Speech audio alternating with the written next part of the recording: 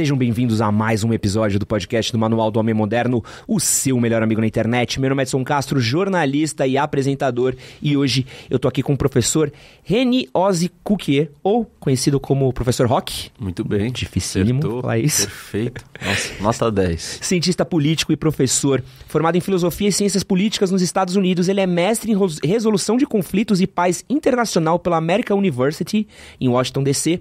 Trabalhou no Conselho de Segurança da ONU, na Organização dos Estados Americanos, a OEA, foi secretário junto de Segurança Urbana na cidade de São Paulo, foi deputado estadual, é professor de Relações Internacionais e apresentador de um canal no YouTube que hoje é o maior canal de geopolítica do Brasil. E hoje a gente vai falar um pouquinho aqui sobre geopolítica e como anda o mundo. Professor, prazer, Prazer, enorme Edson. ter você aqui. Ó, já começo aqui te dando meu livro, Pô, é, Inteligência do Carisma. Minha pesquisa, eu trato o carisma não como um dom, mas como um conjunto de habilidades e competências que podem ser aperfeiçoadas, aprendidas. E, na verdade, é um tipo de poder, né? Carisma é o soft power. Poder de você atrair, convencer, sem ser o poder da força ou do dinheiro.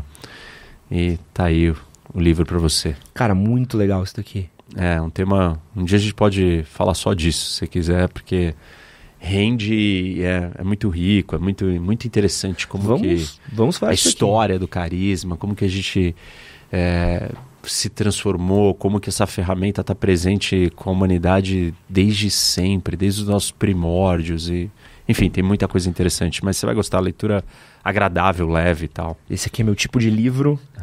E antes da gente começar o nosso papo, também aqui temos um presente de nossos patrocinadores aqui. Nossos queridos da Insider Oh. mandaram uma camiseta pra você. Acho que essa aqui é a sua cara, Rock. É. Acho que combina muito Insider com você, é com seu a melhor estilo. camiseta que tem. Nossa, não tem como. É, É. é maravilhoso. E pra quem não conhece ainda, a Insider tem aí uma série de produtos incríveis pro dia a dia do homem moderno. A Tech T-shirt da Insider é a releitura da camiseta básica masculina com benefícios da tecnologia da Insider. Ela é feita com fibras que se adaptam ao seu corpo, é duas vezes mais macia que as camisetas de algodão, não desbota e não precisa passar. O seu tecido ajuda a evaporar o suor mais rapidamente, além de ajudar aí a regular a temperatura corporal. Outra parada legal é que as peças da Insider têm ação anti-odor, que deixam um tecido desfavorável à proliferação de bactérias que causam um mau cheiro. Isso dá para as camisetas da Insider um conforto e praticidade perfeitos para usarem nas mais diversas ocasiões do dia a dia. As tech t-shirts da Insider estão disponíveis aí em nove cores, do tamanho PP ao XXGG, atendendo a mais diversos tipos de homens aí. E usando o cupom MHM12 no QR Code que está aqui na tela, no link na descrição desse podcast, você ganha 12% de descontos nas suas compras na Insider. E quero lembrar aqui, claro, de vocês deixarem um like, avaliarem esse podcast daqui nas plataformas de áudio, nas plataformas Apple, você pode deixar a avaliação de 5 estrelas. No Spotify tem três pontinhos aqui que você avalia a gente. Responda uma pergunta que a nossa produtora Débora deixa nos episódios do Spotify. Sempre deixa uma perguntinha aqui, vou deixar uma perguntinha pra vocês responderem. Eu gosto dessa ferramenta da, da perguntinha. Eu que aprovo os comentários da galera. E também compartilhe esse episódio que ajuda muito a gente a chegar em novos lugares. Quero começar aqui, ô Rock, falando um pouquinho do tema do seu livro Vamos. que é essa questão de carisma. Quando a gente está falando de política, quando a gente está falando de história até mesmo da humanidade, a gente vê que líderes carismáticos acabam tendo uma repercussão maior na, na história do que muitos líderes que foram mais pragmáticos. Sim. Certo. Qual que é o poder do carisma na política? Olha, política é sobre poder. Poder é a capacidade de você conseguir aquilo que você deseja. E aí já começa um problema, que as pessoas confundem é, ferramentas de poder com poder. Você ter dinheiro é, é uma ferramenta de poder. Não necessariamente é poder. O dinheiro não permite que você conquiste ou alcance vários objetivos que você tem na vida. É, e a mesma coisa com as outras coisas. Então, o carisma é uma ferramenta de poder. Mas política é sobre poder. Você precisa conseguir as coisas. E as pessoas têm uma visão do poder nociva, negativa, né? poluída. Se fala em poder, pensa em sacanagem, pensa em domínio, pensa em imposição. E na verdade não é isso. Poder é conseguir aquilo que você quer. Claro, muitos eh, líderes ou pessoas que chegam no poder eh, perdem os seus limites ou querem coisas destrutivas. Um Hitler, ele queria, ele tinha um objetivo negativo, destrutivo, do mal. Mas existem, é, você pode usar o poder para alcançar coisas boas. Então, o poder é neutro. Quem usa ele com seus objetivos é que vai dizer se é problemático ou se é positivo. E é isso que a gente tem que entender. Então, quando a gente deixa isso de lado, a gente consegue analisar o poder é, de uma forma mais real, mais profunda. E aí, então, é, política precisa de poder, porque você precisa conquistar o que você quer fazer. Seja as suas ideias, a sua política, é, os seus objetivos finais ou a permanência no poder né, a permanência naquele cargo. Você precisa alcançar os seus objetivos para continuar ali. E óbvio que na, é, na, na, política você está conversando, você é um representante. É, mesmo que você não seja eleito, você supostamente está ali conduzindo uma massa, uma multidão de pessoas. Você precisa conversar com essas pessoas. E você precisa fazer elas fazerem o que você quer. E, e se você não tem um aparato de força para forçar todo mundo a fazer o que você quer, qual é a única forma de você convencer elas? Através da persuasão, através da atração. E é aí que entra o carisma. Então, não dá para. Assim, claro, existem políticos é, importantes que não foram carismáticos, mas a maioria dos grandes líderes, e não só na política, podemos falar do mundo dos negócios, podemos falar do esporte. Eu gosto de usar o exemplo do Senna e do Piquet. É.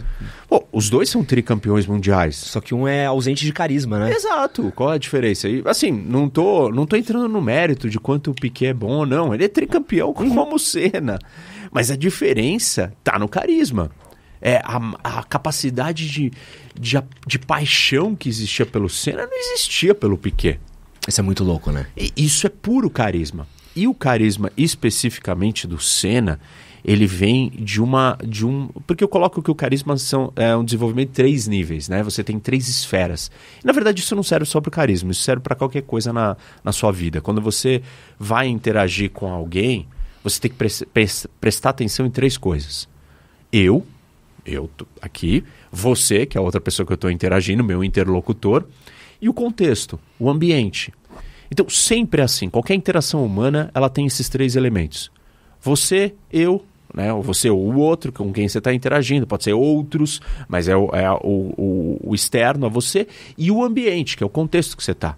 Nós estamos aqui num estúdio, nós estamos na praia, nós estamos é, dentro de um tribunal, nós estamos numa sala de aula. Né? Onde nós estivermos vai mudar quem nós somos.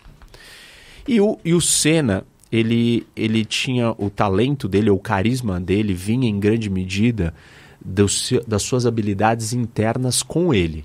Não é que ele sabia te ler ou que ele prestava atenção em você.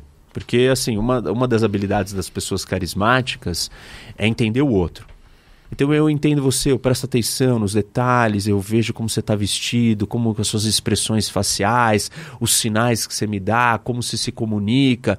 E eu te, te agrado, hum. eu te dou o que você gosta. Esse é um jeito de ser carismático. Outro jeito é eu transporto, né, ou eu transmito para você segurança, confiança, paixão. E isso o Senna fazia muito bem. Porque ele tinha um nível de inteligência emocional muito elevado. Para você desenvolver a sua capacidade das inteligências, tanto que eu chamo o livro de inteligência do carisma, né? É, são três inteligências. Então é a inteligência emocional, a social e a contextual. Cada uma desses três níveis que eu falei. Uhum. Que é o pessoal, o outro e o do contexto. E o Senna era muito bom na inteligência emocional. Por ele ter essa, essa autoconfiança, né, saber quem ele era, isso reverberava nas outras pessoas. E os outros olhavam e falavam assim: nossa, tipo, ficavam apaixonados, porque você se atrai por aquilo que é seguro, é confiante, é forte. E ele tinha isso. E óbvio que cada político trabalha com uma linha, você tem políticos que têm muitas delas, mas se você olhar, por exemplo, para um Trump, é, ele, era um, ele é um cara que ele não tem uma inteligência emocional apurada, nem uma inteligência social. Mas ele teve uma inteligência contextual fora da curva. Ele entendeu o contexto, ele entendeu o cenário, ele entendeu o que as pessoas estavam cansadas e ele ofereceu aquilo. E essa é uma ferramenta que líderes é, normalmente têm, né? políticos são bons na inteligência contextual ler o cenário e entregar o discurso do que aquele momento da história, aquele momento econômico, político e cultural pede. Uhum. Hitler fez isso com os alemães. E aí tem um, uma ressalva, né? Carisma pode ser usado para o bem e para o mal, como eu disse. E os maiores ditadores da história, os homens mais sanguinários de todos, eles eram carismáticos. É. Mussolini, Hitler. Mussolini, Hitler, Mao, todos eram muito carismáticos. Então, por isso que a gente tem que olhar com atenção para o carisma, porque ele é uma ferramenta de poder. Ela pode ser usada para o bem ou para o mal. E um fator que a gente tem visto hoje, que tem influenciado muito também na política, e é talvez seja um player relativamente novo na cena são as redes sociais. É. O quanto que você vê que essa popularidade nas redes sociais, essa capacidade de atrair seguidores, de atrair pessoas para suas redes sociais, virou um fator de uma ferramenta política hoje? Ah, assim, se a, se a gente vive mais dentro do virtual do que do presencial ou do real, claramente as discussões da nossa vida a política é isso, sobre as discussões para onde nós queremos caminhar como sociedade, como grupo. É, elas vão acontecer ali dentro. E se você tem um poder de atração lá dentro, você é uma força política. Uhum. Você é um agregador, você é um hub, você é um centro de conexão, você é um grande articulador, você é um grande comunicador. Você falar de certos temas ou, ou transmitir certas mensagens vai ter um efeito maior sobre o maior número de pessoas. Então, obviamente que você é uma força política. E claro que é, quem detém essa, essa capacidade de aglutinar pessoas na rede tem poder. É, na, era da, na era da comunicação e na era da informação. Se a gente vive na era da comunicação e da informação, quem é um hub, um centro, né, onde está todo mundo indo ali, é, você tem poder. E óbvio que poder vale dinheiro, é, vale conquista, te ajuda a chegar onde você quer e assim por diante. Então, eu diria que é, a, os influencers, né, as pessoas que conseguem se posicionar bem na rede, estão à frente entendendo quais são as ferramentas necessárias para você conseguir o que você quer no século XXI. Em outros momentos da história, você precisava ter é, cavalos, você precisava ter um feudo, servos e assim por diante, porque senão você não ia ter poder. Hoje, né, um mundo democrático, aberto, livre, se comunicando, você precisa ter a capacidade de, de entender como se posicionar, como falar, como ocupar o espaço digital. E aí os influencers têm poder. Então eles têm muito a nos dizer do ponto de vista econômico, político, cultural, social. Porque hoje a gente tem o cargo de político influencer, né? É Isso, também. E como é que é para vocês? Porque assim, você é um cara que já tá na estrada faz muito tempo, professor de faculdade, uhum. um cara que tá estudando, tá dentro da academia de certa forma. Como é que é para vocês foi o, o, papo de, pô, gente, vamos ter que começar a conversar sobre o Twitter aqui em sala é. de aula? Assim, dentro do mundo acadêmico existe um grande preconceito, né?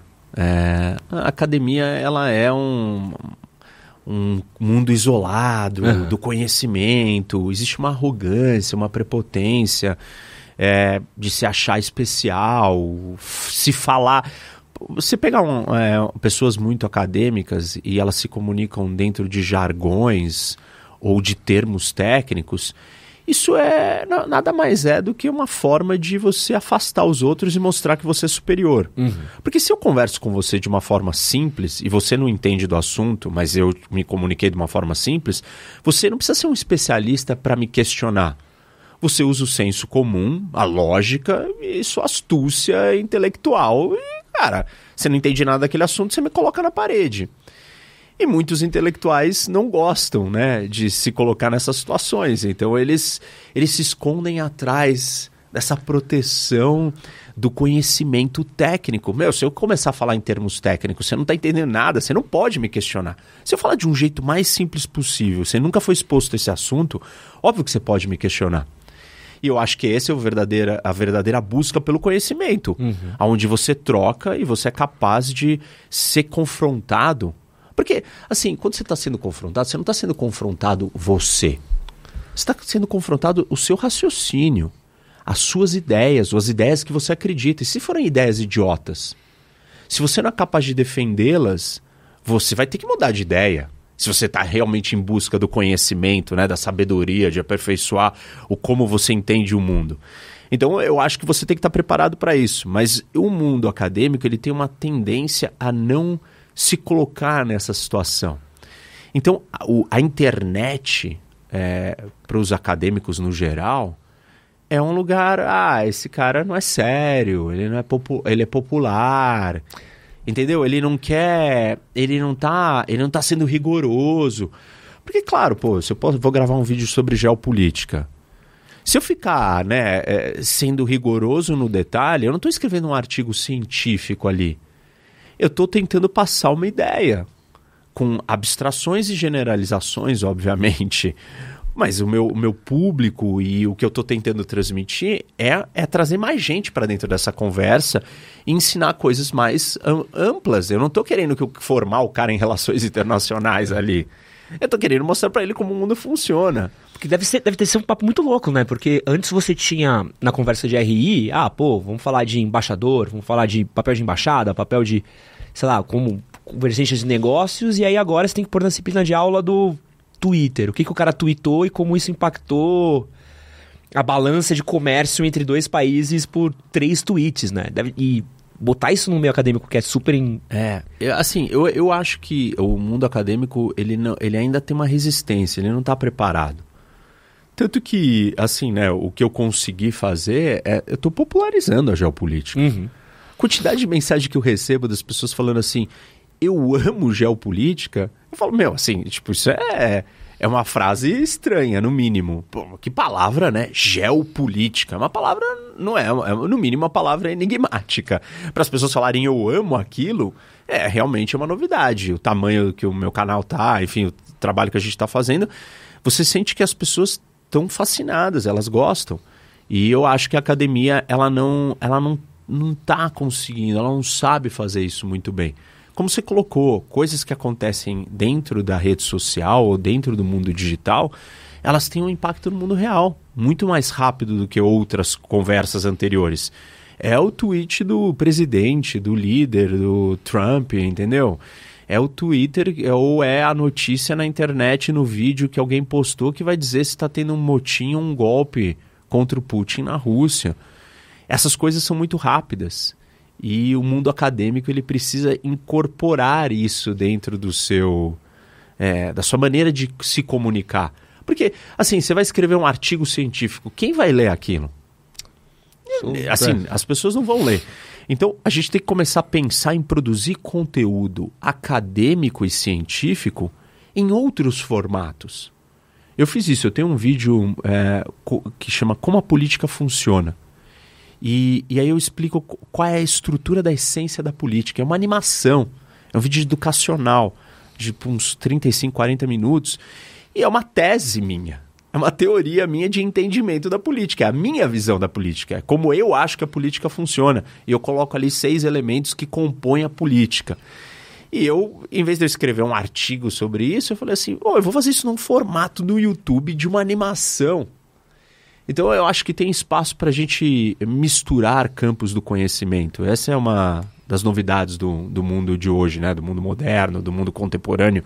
É nós misturarmos é, campos de conhecimento. Então você vai misturar política com psicologia, você vai misturar física quântica com política, é, geografia com política, geopolítica, que já existe há muito mais tempo, não é uma novidade, mas é, eu acho que é, é, esse é o futuro, esse é o caminho. Então, nós temos que misturar a comunicação digital do YouTube com conhecimento científico.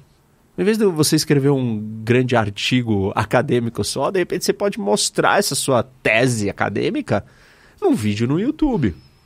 Enfim, é, eu acho que é, é, é a academia teria que caminhar para essa, essa modernização, mas não é fácil. E você falou aí e eu fiquei curioso, como é que a política funciona? Quais que são esses seis pilares aí? Se ah, você puder resumir pra gente. De, a, na política tem meios, né? Por exemplo, carisma é um meio, é uma ferramenta. É, você precisa ter ferramentas para conseguir o que você quer. Política é sobre poder, então tem poder, tem meios, tem fins. O, o, o, os fins não são o poder. O poder é a capacidade de eu conseguir o meu fim. Mas você precisa definir quais são os seus fins. Tipo, você não entra na política, e aí não, não tô falando de política formal, virar um, um, um legislador, ou um prefeito, ou, ou um membro de um partido. Você é um animal político. O Edson é um animal político. Tipo, como? Meu, você acorda todo dia, você tem vontades e você quer fazer coisas. E você vai se deparar com outras pessoas que não querem que você faça aquilo.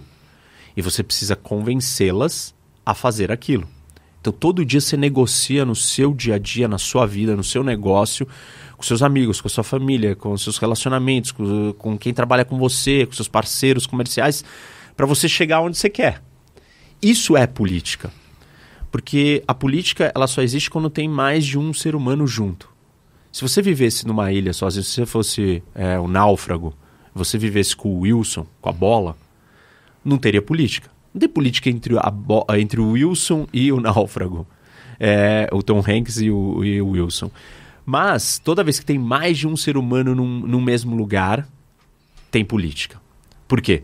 Você tem objetivos, fins, diferentes dos meus fins. Você tem meios diferentes dos meus, mas você tem meios, você tem fins, você tem poder. E aí você precisa de estratégia. Para a estratégia a maneira como você usa os seus meios para alcançar um fim. É, a capacidade de você alcançar o seu fim é o poder. E aí você tem o contexto, né, do tempo que você está vivendo, tipo, quais são tem forças que você não controla. Então, tudo isso compõe a política. Se você quer ser um bom político, e aí, de novo, as pessoas não entenderam, do dia que elas acordam da hora que elas acordam até a hora que elas vão dormir, elas estão fazendo política. Aristóteles nos explicou que nós somos animais políticos. O ser humano é um animal político. Você acorda e começa a fazer política. O que é política? Conflito de vontades. Conflito de interesse. E você tem todo dia. Porque você quer uma coisa, sua esposa quer outra coisa.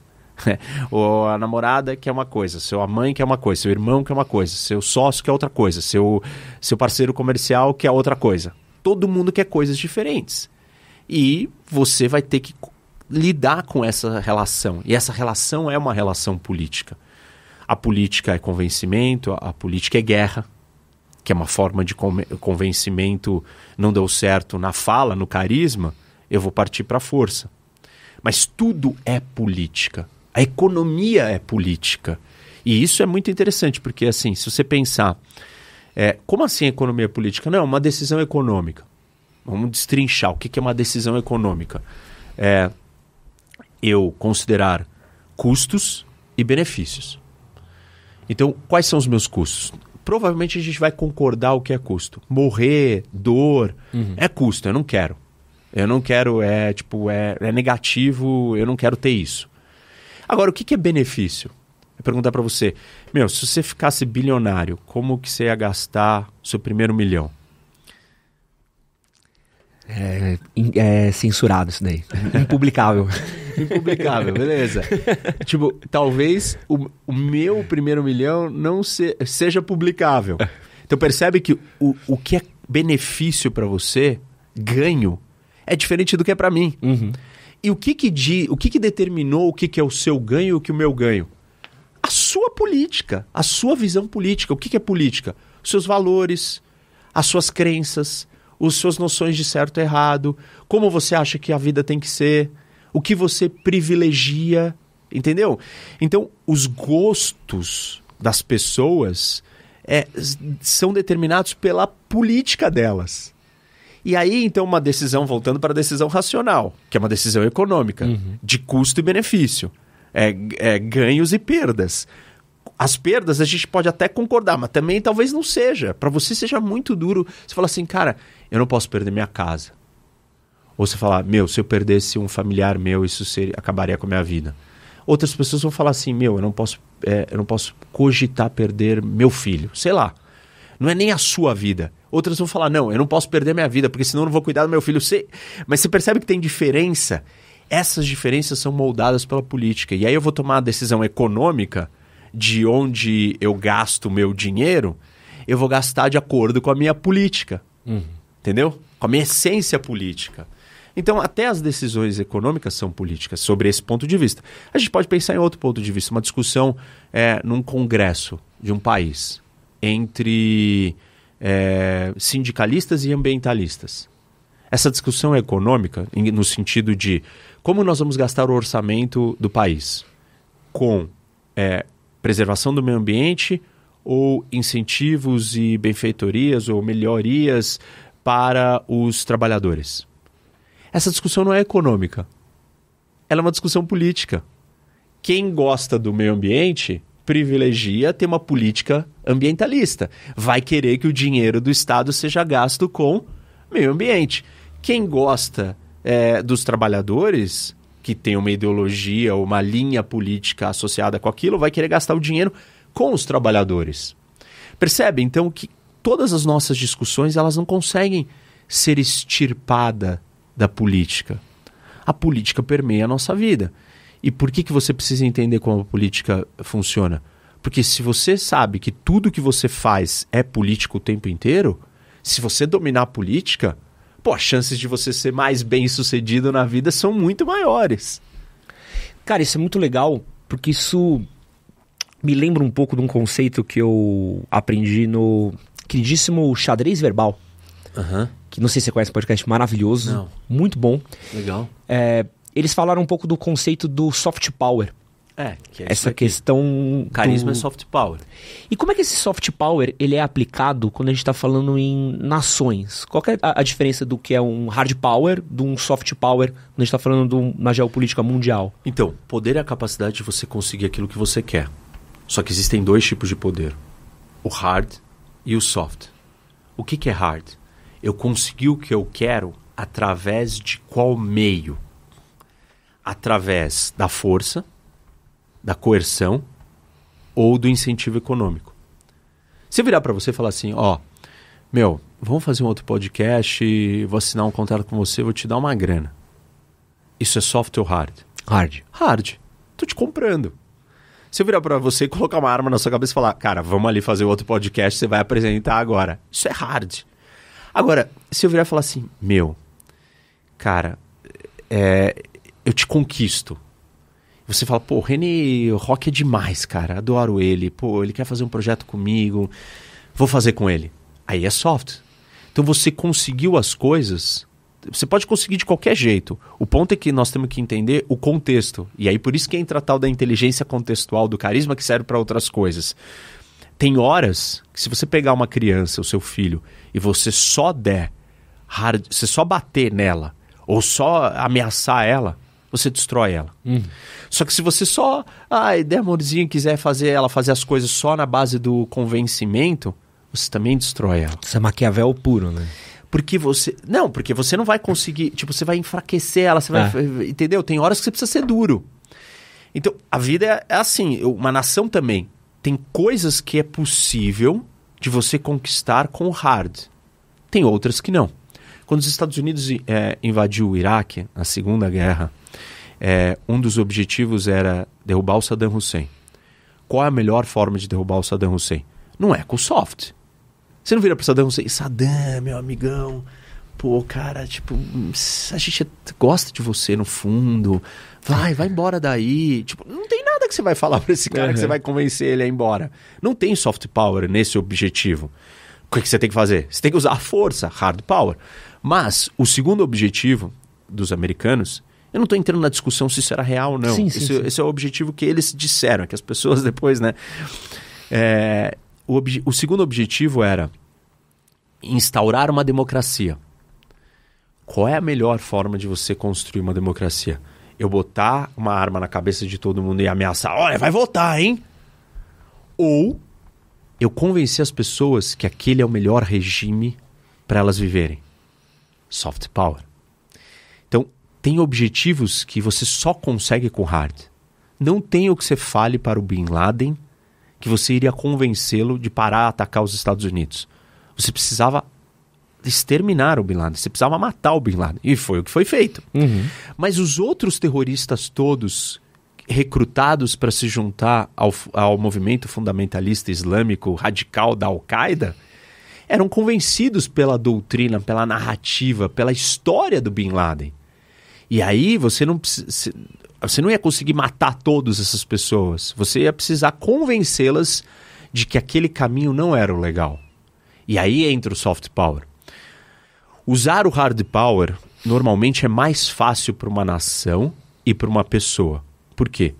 Ele é direto, objetivo e claro. Eu posso colocar a arma aqui e falar: me dá sua carteira, me dá seu dinheiro. Eu estou sendo explícito, eu estou dizendo o que eu quero. É, vai, a gente vai resolver essa situação a hora que você me der o que eu quero e acabou. Ou eu tenho que virar e falar: pô, cara, que legal essa jaqueta preta. Eu vou num processo aqui de conquista, de convencimento, de atração, de fazer você me achar legal até eu conseguir você fazer você me dar o que eu quero. Esse é um processo muito mais inconsciente, subjetivo, indireto, difícil. É muito mais difícil você usar o soft power.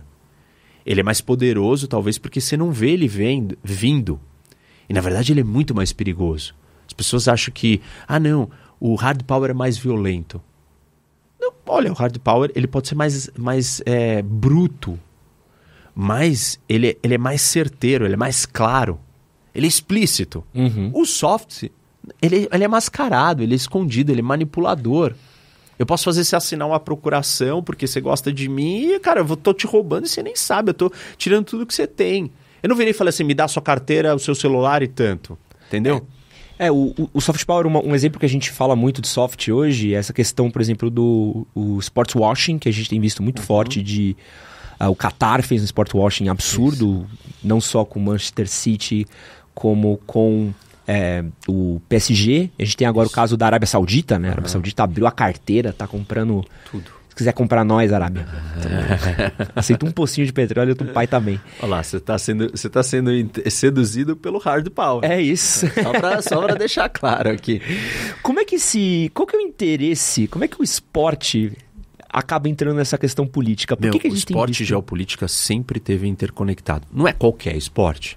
Os grandes eventos e grandes é, episódios do esporte, eles mobilizam muitas pessoas. Então eles têm um poder é, de ser uma plataforma para você enviar uma mensagem. Uhum.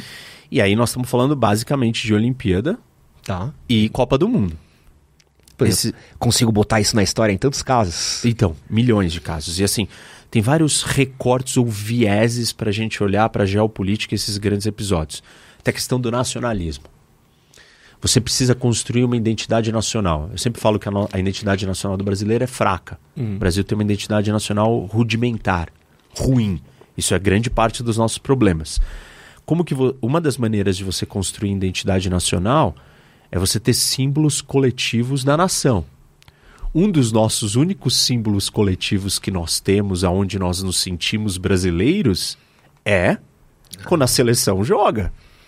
Então, o esporte tem um papel é, complementar de formação de identidade nacional e de exaltar e enaltecer a paixão que você tem e o amor pelo seu país. Uma competição entre países ela é um polo para reforçar a sua identidade nacional.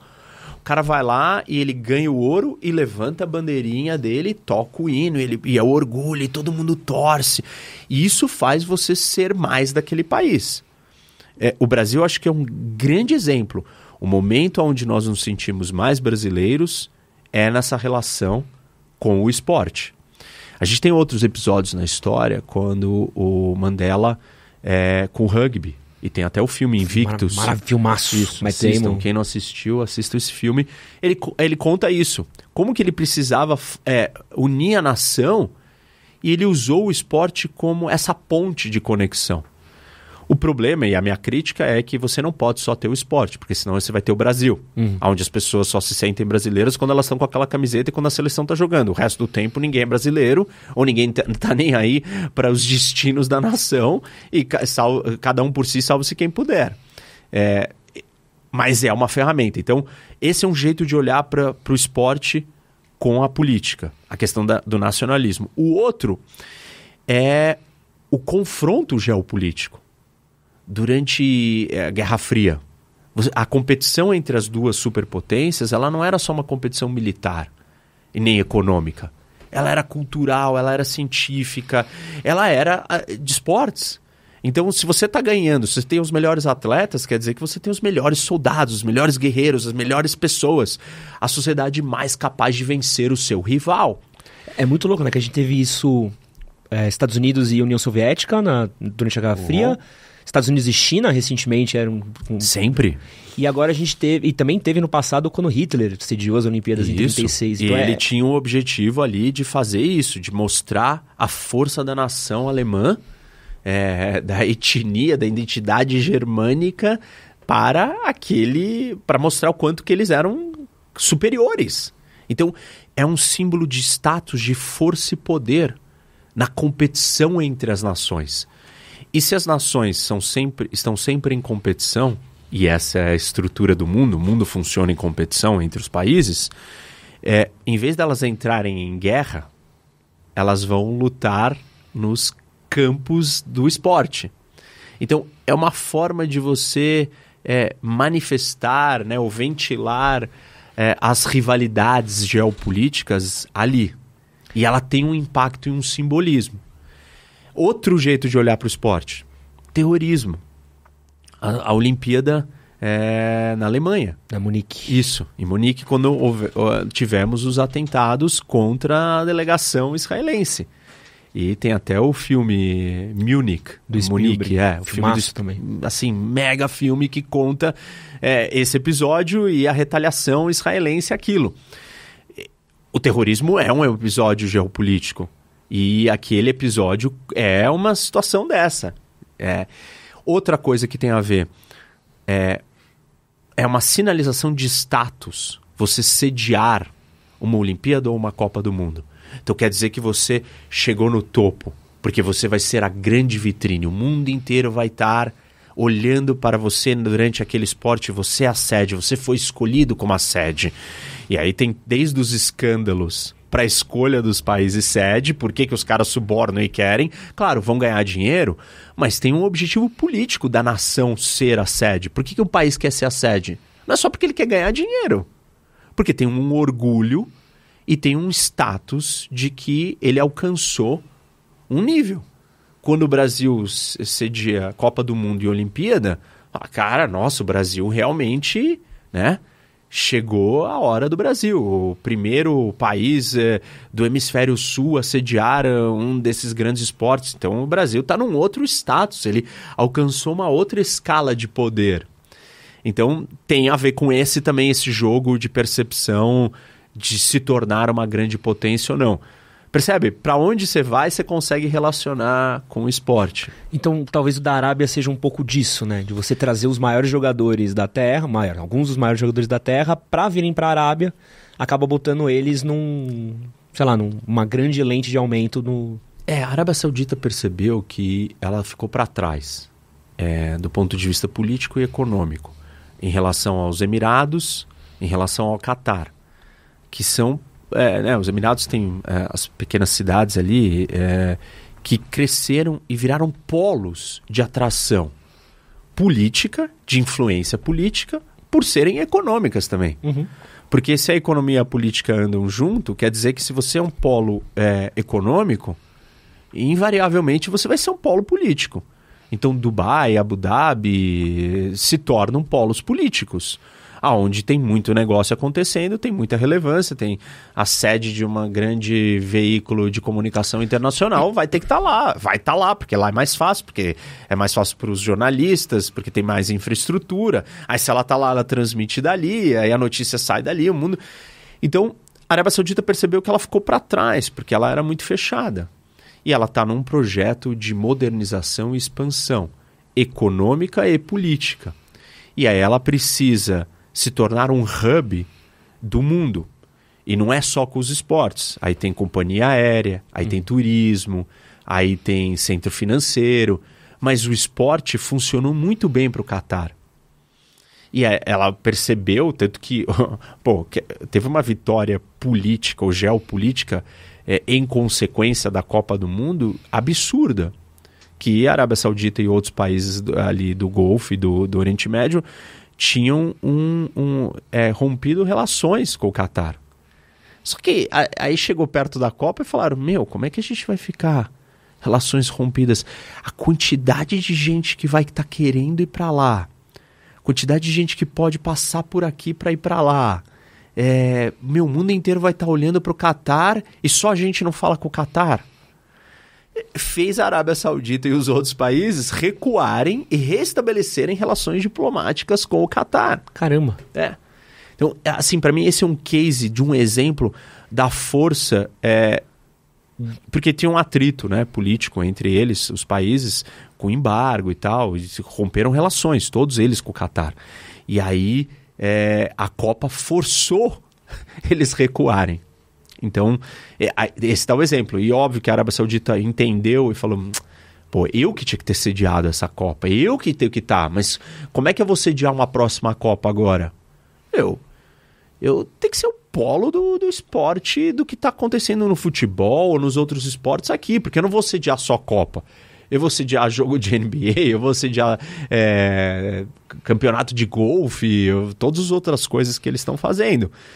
E isso vai atrair visibilidade, vai atrair negócio, vai atrair influência política. Agora eu vou fazer a pergunta aqui do aluno burrão, só para ver se eu peguei a matéria, tá? É. Então vamos lá. Talvez então o, o, exército, os campos de petróleo, os investimentos em economia sejam hard power da Arábia Saudita. Isso. E o futebol é o soft power. Isso. É a maneira deles conseguirem aumentar a influência deles de uma forma que a gente. Ah, todo mundo discutindo. O Neymar foi para lá, Cristiano Ronaldo foi para lá, mas a gente não percebe que a gente tá falando da Arábia Saudita no fim do dia. Isso. Falando da Arábia Saudita, indo para a Arábia Saudita, é, estabelecendo uma relação com a Arábia Saudita. Daqui a pouco, por exemplo, ah, meu, é, Neymar ou as marcas que estão com Neymar tem que tomar cuidado para não criticar a Arábia Saudita em outros assuntos políticos, porque tem negócios comerciais, porque ela é uma força. Então, meu, pô, a Arábia Saudita é uma mega ditadura. E aí? Entendeu? É, assim, né? Por exemplo, essa discussão existe no Brasil em relação a criticar a China. Muita gente, ah, não podemos criticar a China porque é o nosso maior parceiro comercial. É, vai chegar um momento que, se a China botar pressão, ela vai falar: olha, não quero crítica, não. E o Brasil vai, se ele se colocar nessa posição política, ele vai ter um grande problema. Porque ele vai ser subjugado e, e, a, e a, a Arábia Saudita, né, ou toda a estratégia de soft power, em parte, tenta fazer isso também. Claro que se a ameaça é vai perder o contrato, você está perdendo dinheiro. Dinheiro é hard, entendeu? Uhum. Então é diferente. Por exemplo, vou dar, ah, eu vou dar um, esse exemplo aqui, vai, vai, todo mundo vai entender.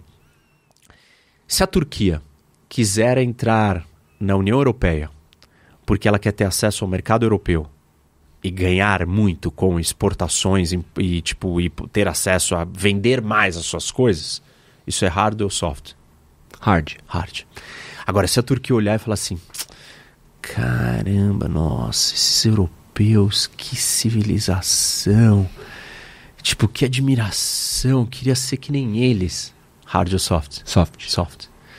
É, e isso existe. Não estou dizendo que a política externa da Turquia vai ser moldada por isso, mas vários elementos das políticas externas dos países é estar alinhado com aquilo que você ama, o que você admira. E você admira porque é o poder do soft, seja o carisma, seja a sedução, seja a atração. É, o carisma é uma dessas ferramentas. Então, a Arábia Saudita está usando isso para o soft. É, o Brasil é visto como um, um país com alto soft power. Só que aí nós temos. Um, aí existe um problema quando a gente fala de soft power. Você tem que conseguir usar o soft power para produzir aquele resultado que você deseja. Lembra que eu falei que tem os resultados, tem uhum. os objetivos. O Brasil é visto como um país alegre, feliz, todo mundo ama o Brasil. Ninguém tem, ai, eu tenho problemas sérios com o Brasil. Não existe isso no mundo. É, em grande medida, claro. E aí, na hora que o Brasil vai sentar com a União Europeia para negociar um tratado de livre comércio, de abertura econômica, os europeus viram e falam assim: cara, Brasil, a gente ama o carnaval, então, quer saber, vamos assinar aqui. Não. Não. Quem então, dera, né? Então o que, que adianta, entendeu? O que, que adianta se você não consegue usar isso? É, vamos, vamos, supor vou uma- aqui um. vou Vou, vou fazer uma pergunta boa. O, o soft power do Brasil, então, seria um jeito da gente ser convidado pra sentar na mesa. Gente pelo menos ser. sentar na mesa. Pode ser. A gente só não sabe fechar o negócio. Quem senta na mesa tem poder. É, você, dentro da, da estrutura de poder, você tem três facetas de poder. E a primeira delas é eu te comandar. É eu virar para você e falar assim: faça isso. Quem tem poder, comanda. Quem não tem, obedece. Aham. A segunda faceta é eu domino as regras, eu participo da criação das regras do jogo. Ou eu sento na mesa. Tem poder é quem está sentado na mesa. Por exemplo, o Conselho de Segurança. Tem cinco assentos permanentes nele. É, você ser um dos permanentes te dá poder. E essa, essa é uma regra Uhum.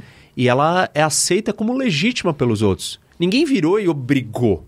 Foi criada a regra, só que a regra favorece alguns e deu poder para esses alguns. Então, sentar na mesa e ajudar a criar a regra é uma forma de poder.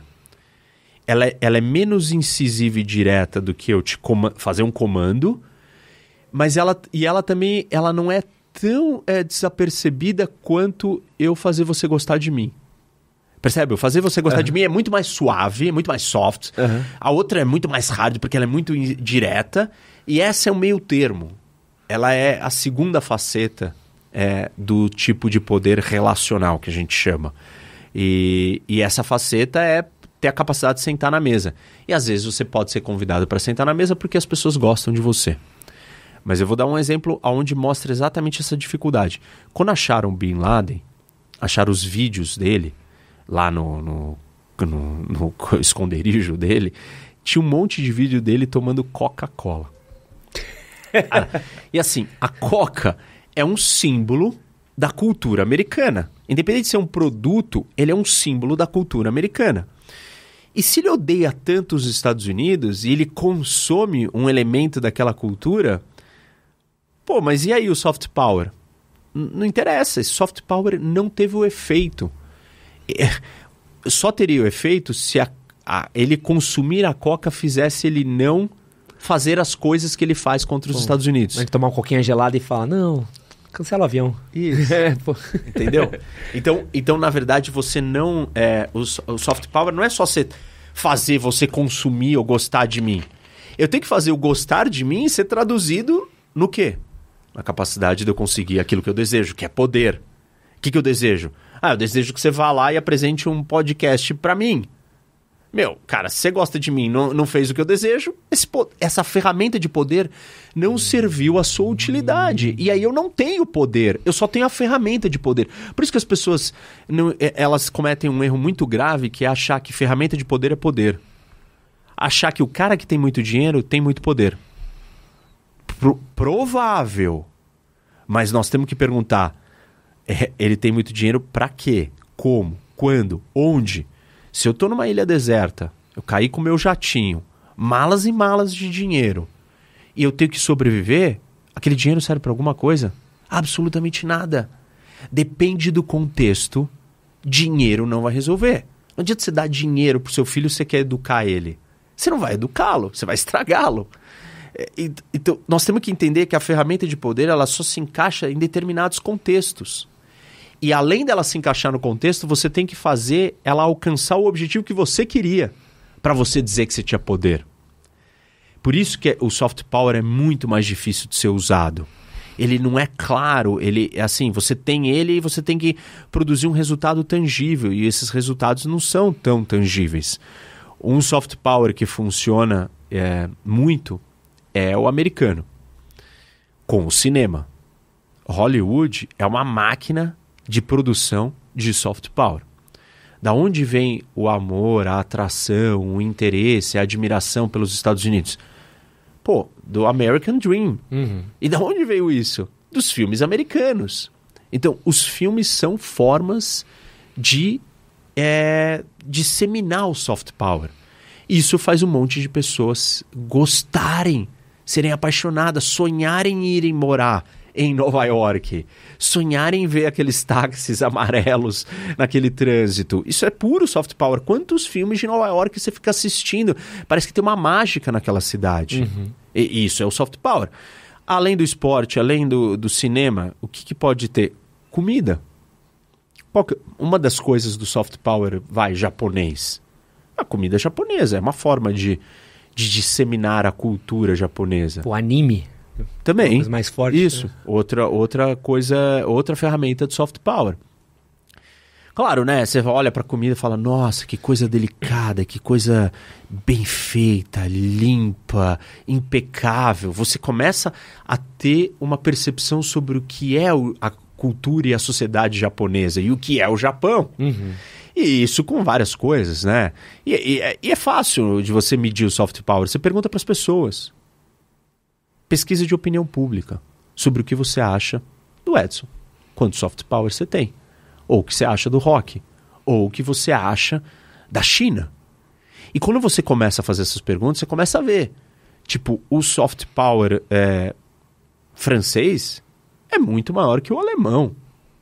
As pessoas, nossa, eu amo a Alemanha. Agora, a França não. A França tem a moda, tem a comida, tem o estilo, tem um monte de coisas dos franceses que mexem com as pessoas. Tem, tem gente que ama o idioma, enfim, tem muita coisa. É, e aí você vai fazendo essa pergunta sobre todos os países. E as pessoas vão ter opiniões. E essa é uma parte interessante do soft power e do carisma, que não é você que determina se você tem ou não. É o outro. É. Ah, que louco. Porque é óbvio, né? Quantas pessoas vão me achar insuportável? E ok, eu não tenho como agradar todo mundo. E quantas pessoas não gostam de você? E várias outras pessoas vão te adorar. E várias vão gostar de mim. E, então, quem determina se você tem ou não soft power, se você tem ou não carisma, não é você.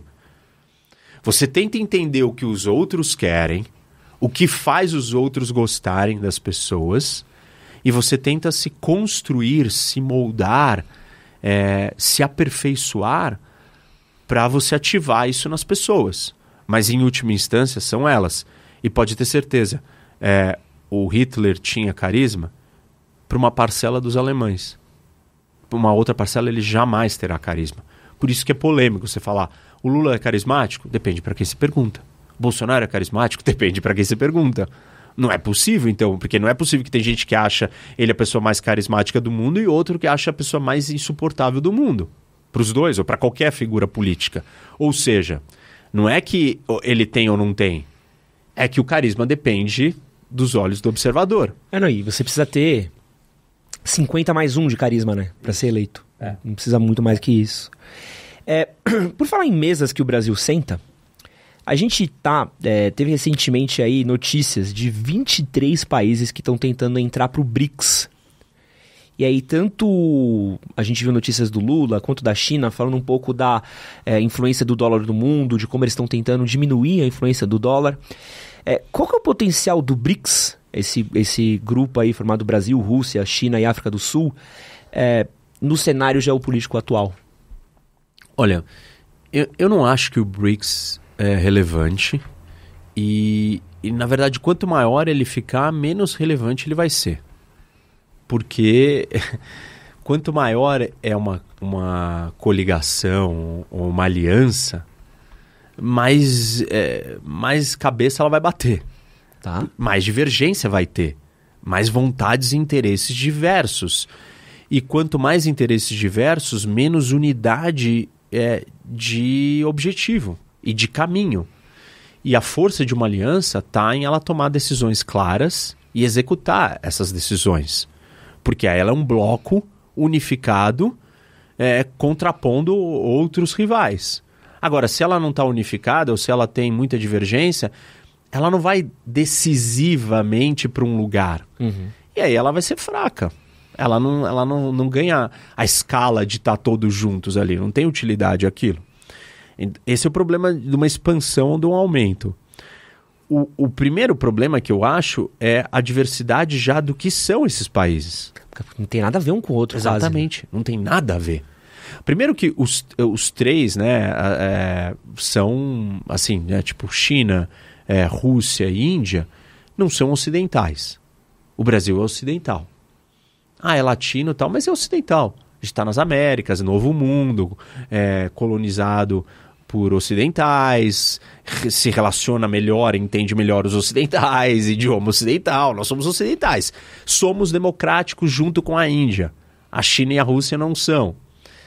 É, então, assim, as, as realidades econômicas são totalmente distintas. Ah, em alguns momentos casam, em outros competem. É, por exemplo, sei lá, a, a China é uma grande consumidora de energia. E a Rússia é uma grande vendedora de energia. Ok, então tem um match ali. Mas em outras situações, não. E assim por diante. Então, você tem. São países grandes. É, é muito difícil você juntar gente tão grande, porque se é maior, você tem mais interesses próprios e você tem mais capacidade de alcançar os seus interesses. Você não vai se subjugar ou aceitar comprometer os seus interesses para o interesse do outro. Você vai querer fazer o que você quer. Uhum. E, e é difícil você juntar todos eles. É, uns são democráticos e outros não. Isso é uma mega diferença. Então, eu não acho que o BRICS nunca chegou a lugar nenhum. Ele não fez nada. Ele cria iniciativas que não dão em nada. Ele não mudou o mundo. É, a China e a, e a Índia têm problemas de guerra, de fronteira, tem confrontos militares, estão numa corrida de disputa. Até outro dia, a, a Rússia e a China também viviam uma certa rivalidade. Hoje, nesse momento, não mais. Não sabemos o que será na frente. É, esses três têm bomba atômica. O Brasil não tem bomba atômica. A África do Sul não tem bomba atômica. Os outros todos não terão bomba atômica. É, dois deles estão no Conselho de Segurança. O Brasil quer entrar no Conselho de Segurança, é, a Índia quer entrar no Conselho de Segurança. É, assim, é muita coisa diferente. Eles, a ideia, os BRICS foram criados por uma lógica econômica de só falar, ah, eles são emergentes. Né? É, Pô, então... Mas a China já disparou também, né? Isso, ela está numa outra categoria de, de economia, de país. Ela está almejando ser a maior potência do mundo. Ela não está na disputa com Índia, com Rússia ou com Brasil. Não tem nada a ver. Então, assim, eu não vejo nada de concreto que os BRICS criaram para alterar a ordem mundial, o equilíbrio de forças no mundo. Nada. Absolutamente nada.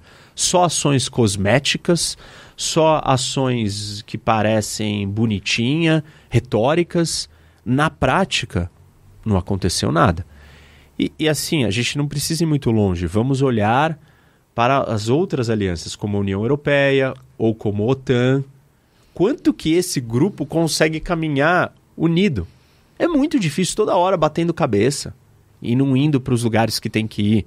Claro, agora tem um inimigo comum, que é a Rússia. Então a OTAN tá, agora ela tá, ela tá, tá avançando, né? agora ela tá dando certo, porque você tem um inimigo comum. Qual é o inimigo comum é, dos BRICS? A União Europeia e os Estados Unidos? O mundo ocidental, as democracias ocidentais? Não. Quais são os rivais deles? Também não. Então, assim, eu não, eu não, eu não acho que os BRICS têm futuro e eu não acho que eles conseguem implementar coisas práticas e tangíveis. Eles são é, um ruído retórico na geopolítica que dá uma falsa impressão de que isso significa alguma coisa. Do ponto de vista das coisas práticas e importantes, estratégicas, existe muito mais divergência entre todos eles e disputas e rivalidades entre eles do que uma união. Por falar em coisas práticas e tangíveis, a gente teve uns dados do relatório Nuclear Weapons Ban Monitor, que ele diz que os nove países que têm armas atômicas entraram em 2023 com um arsenal de 9.576 ogivas operacionais. 90% dessas ogivas está com Rússia e Estados Unidos. E aí, é só uma, uma dado, um dado legal que acho que é bacana ah, saber, que são 135 mil bombas de Hiroshima. E aí que na lista dos países que aumentaram também, é, Rússia, China, Índia, Paquistão e Coreia do Norte também aumentaram o registro aí no avanço do arsenal. A galera tudo viu Oppenheimer ou tem algum motivo aí pra gente estar tá fazendo tanta bomba nuclear Não, atualmente, vários professor? Motivos. Na verdade, acho que o Nolan, né, que é o diretor do Oppenheimer, ele uma das razões que ele diz que quis fazer o filme era para trazer um alerta para o mundo do risco nuclear é, tá de volta, do risco de uma guerra nuclear. A gente viveu isso durante a Guerra Fria e aí achamos que o mundo vivia um período de paz absoluta, não teriam mais guerras, os laços econômicos se sobrepõem a tudo, você ganha dinheiro comigo, ninguém vai querer brigar. E é a guerra da a invasão da Rússia à Ucrânia, ela alterou isso completamente. Ela mostrou que a geopolítica está de volta com força total, a geopolítica clássica, tradicional, é, até talvez retrógrada para o que a gente tivesse conquistado de avanço no sistema internacional, que era o respeito de fronteiras, soberania territorial, não anexar território de outro país. Esse tipo de coisa se achou que estava fora de cogitação. E claramente não está fora de cogitação. Então nós estamos, de novo, lutando pela coisa mais básica, que é terra, que é pura geopolítica. Por isso que é, a geopolítica é instrumental ou útil para as pessoas. Porque se nós estamos lutando por guerra, me parece que. lutando por terra, me parece que entender o que é a terra, a importância da terra, é, uhum. ela está ditando para onde nós estamos indo. Se a Rússia é, quer dominar um território da Ucrânia, a geopolítica daquele lugar faz toda a diferença. A geografia daquele lugar vai nos dizer muita coisa, vai explicar por que, que o mundo está andando para onde ele está andando. É, então, tá de volta essas disputas. E se tá de volta essas disputas, está de volta a questão da guerra nuclear. E, no, e, e por que, que é uma guerra. A, a, a, o perigo da guerra nuclear está de volta? Porque a disputa é, são entre as potências que têm as bombas atômicas, que são nove países. E o Conselho de Segurança ele foi criado com a ideia de você unir, unir numa aliança todos os países que tivessem bomba atômica os cinco permanentes, que naquele momento eram só, só os cinco tinham a bomba, que eram os cinco permanentes, que é, é China, Estados Unidos, Rússia, França e Reino Unido. Óbvio que depois outros quatro desenvolveram a bomba, é, então nós temos nove, mas aqueles cinco não poderiam brigar entre si, porque se eles brigassem, a gente poderia ter uma guerra nuclear. E o objetivo da criação da ONU era evitar que nós tivéssemos uma nova, uma terceira guerra mundial e uma guerra nuclear, em parte. E com o movimento da Rússia, da China, está de volta a preocupação de uma guerra atômica.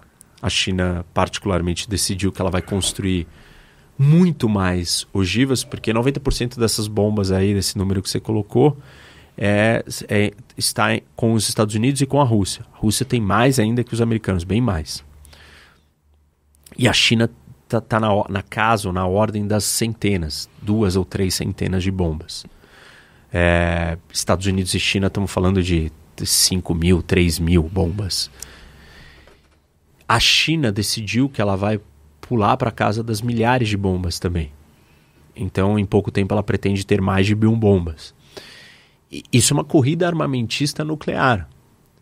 E a discussão do uso da bomba atômica e a estratégia nuclear por trás é, de você conter uma guerra atômica, ela leva em conta o número de bombas.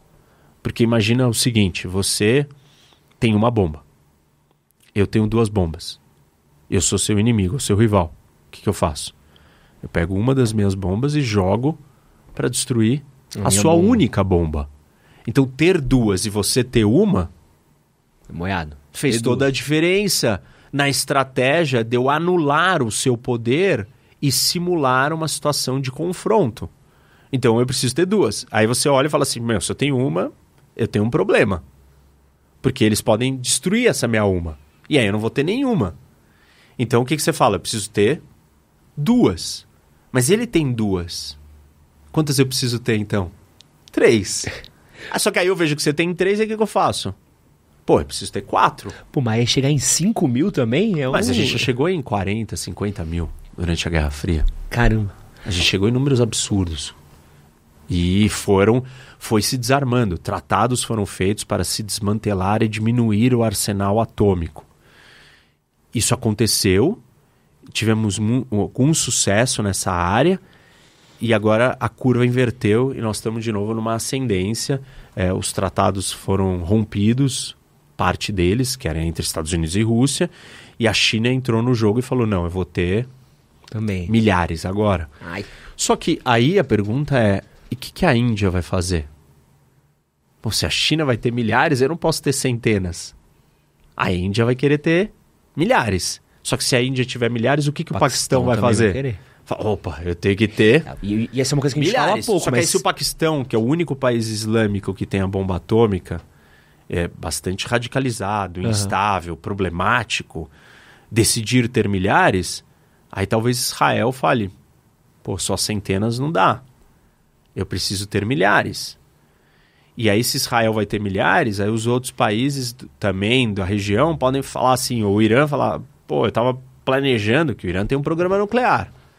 Estava planejando ter centenas, acho que eu também vou ter milhares. Só que se o Irã tiver milhares, a Arábia Saudita, o Egito e a Turquia vão precisar ter milhares.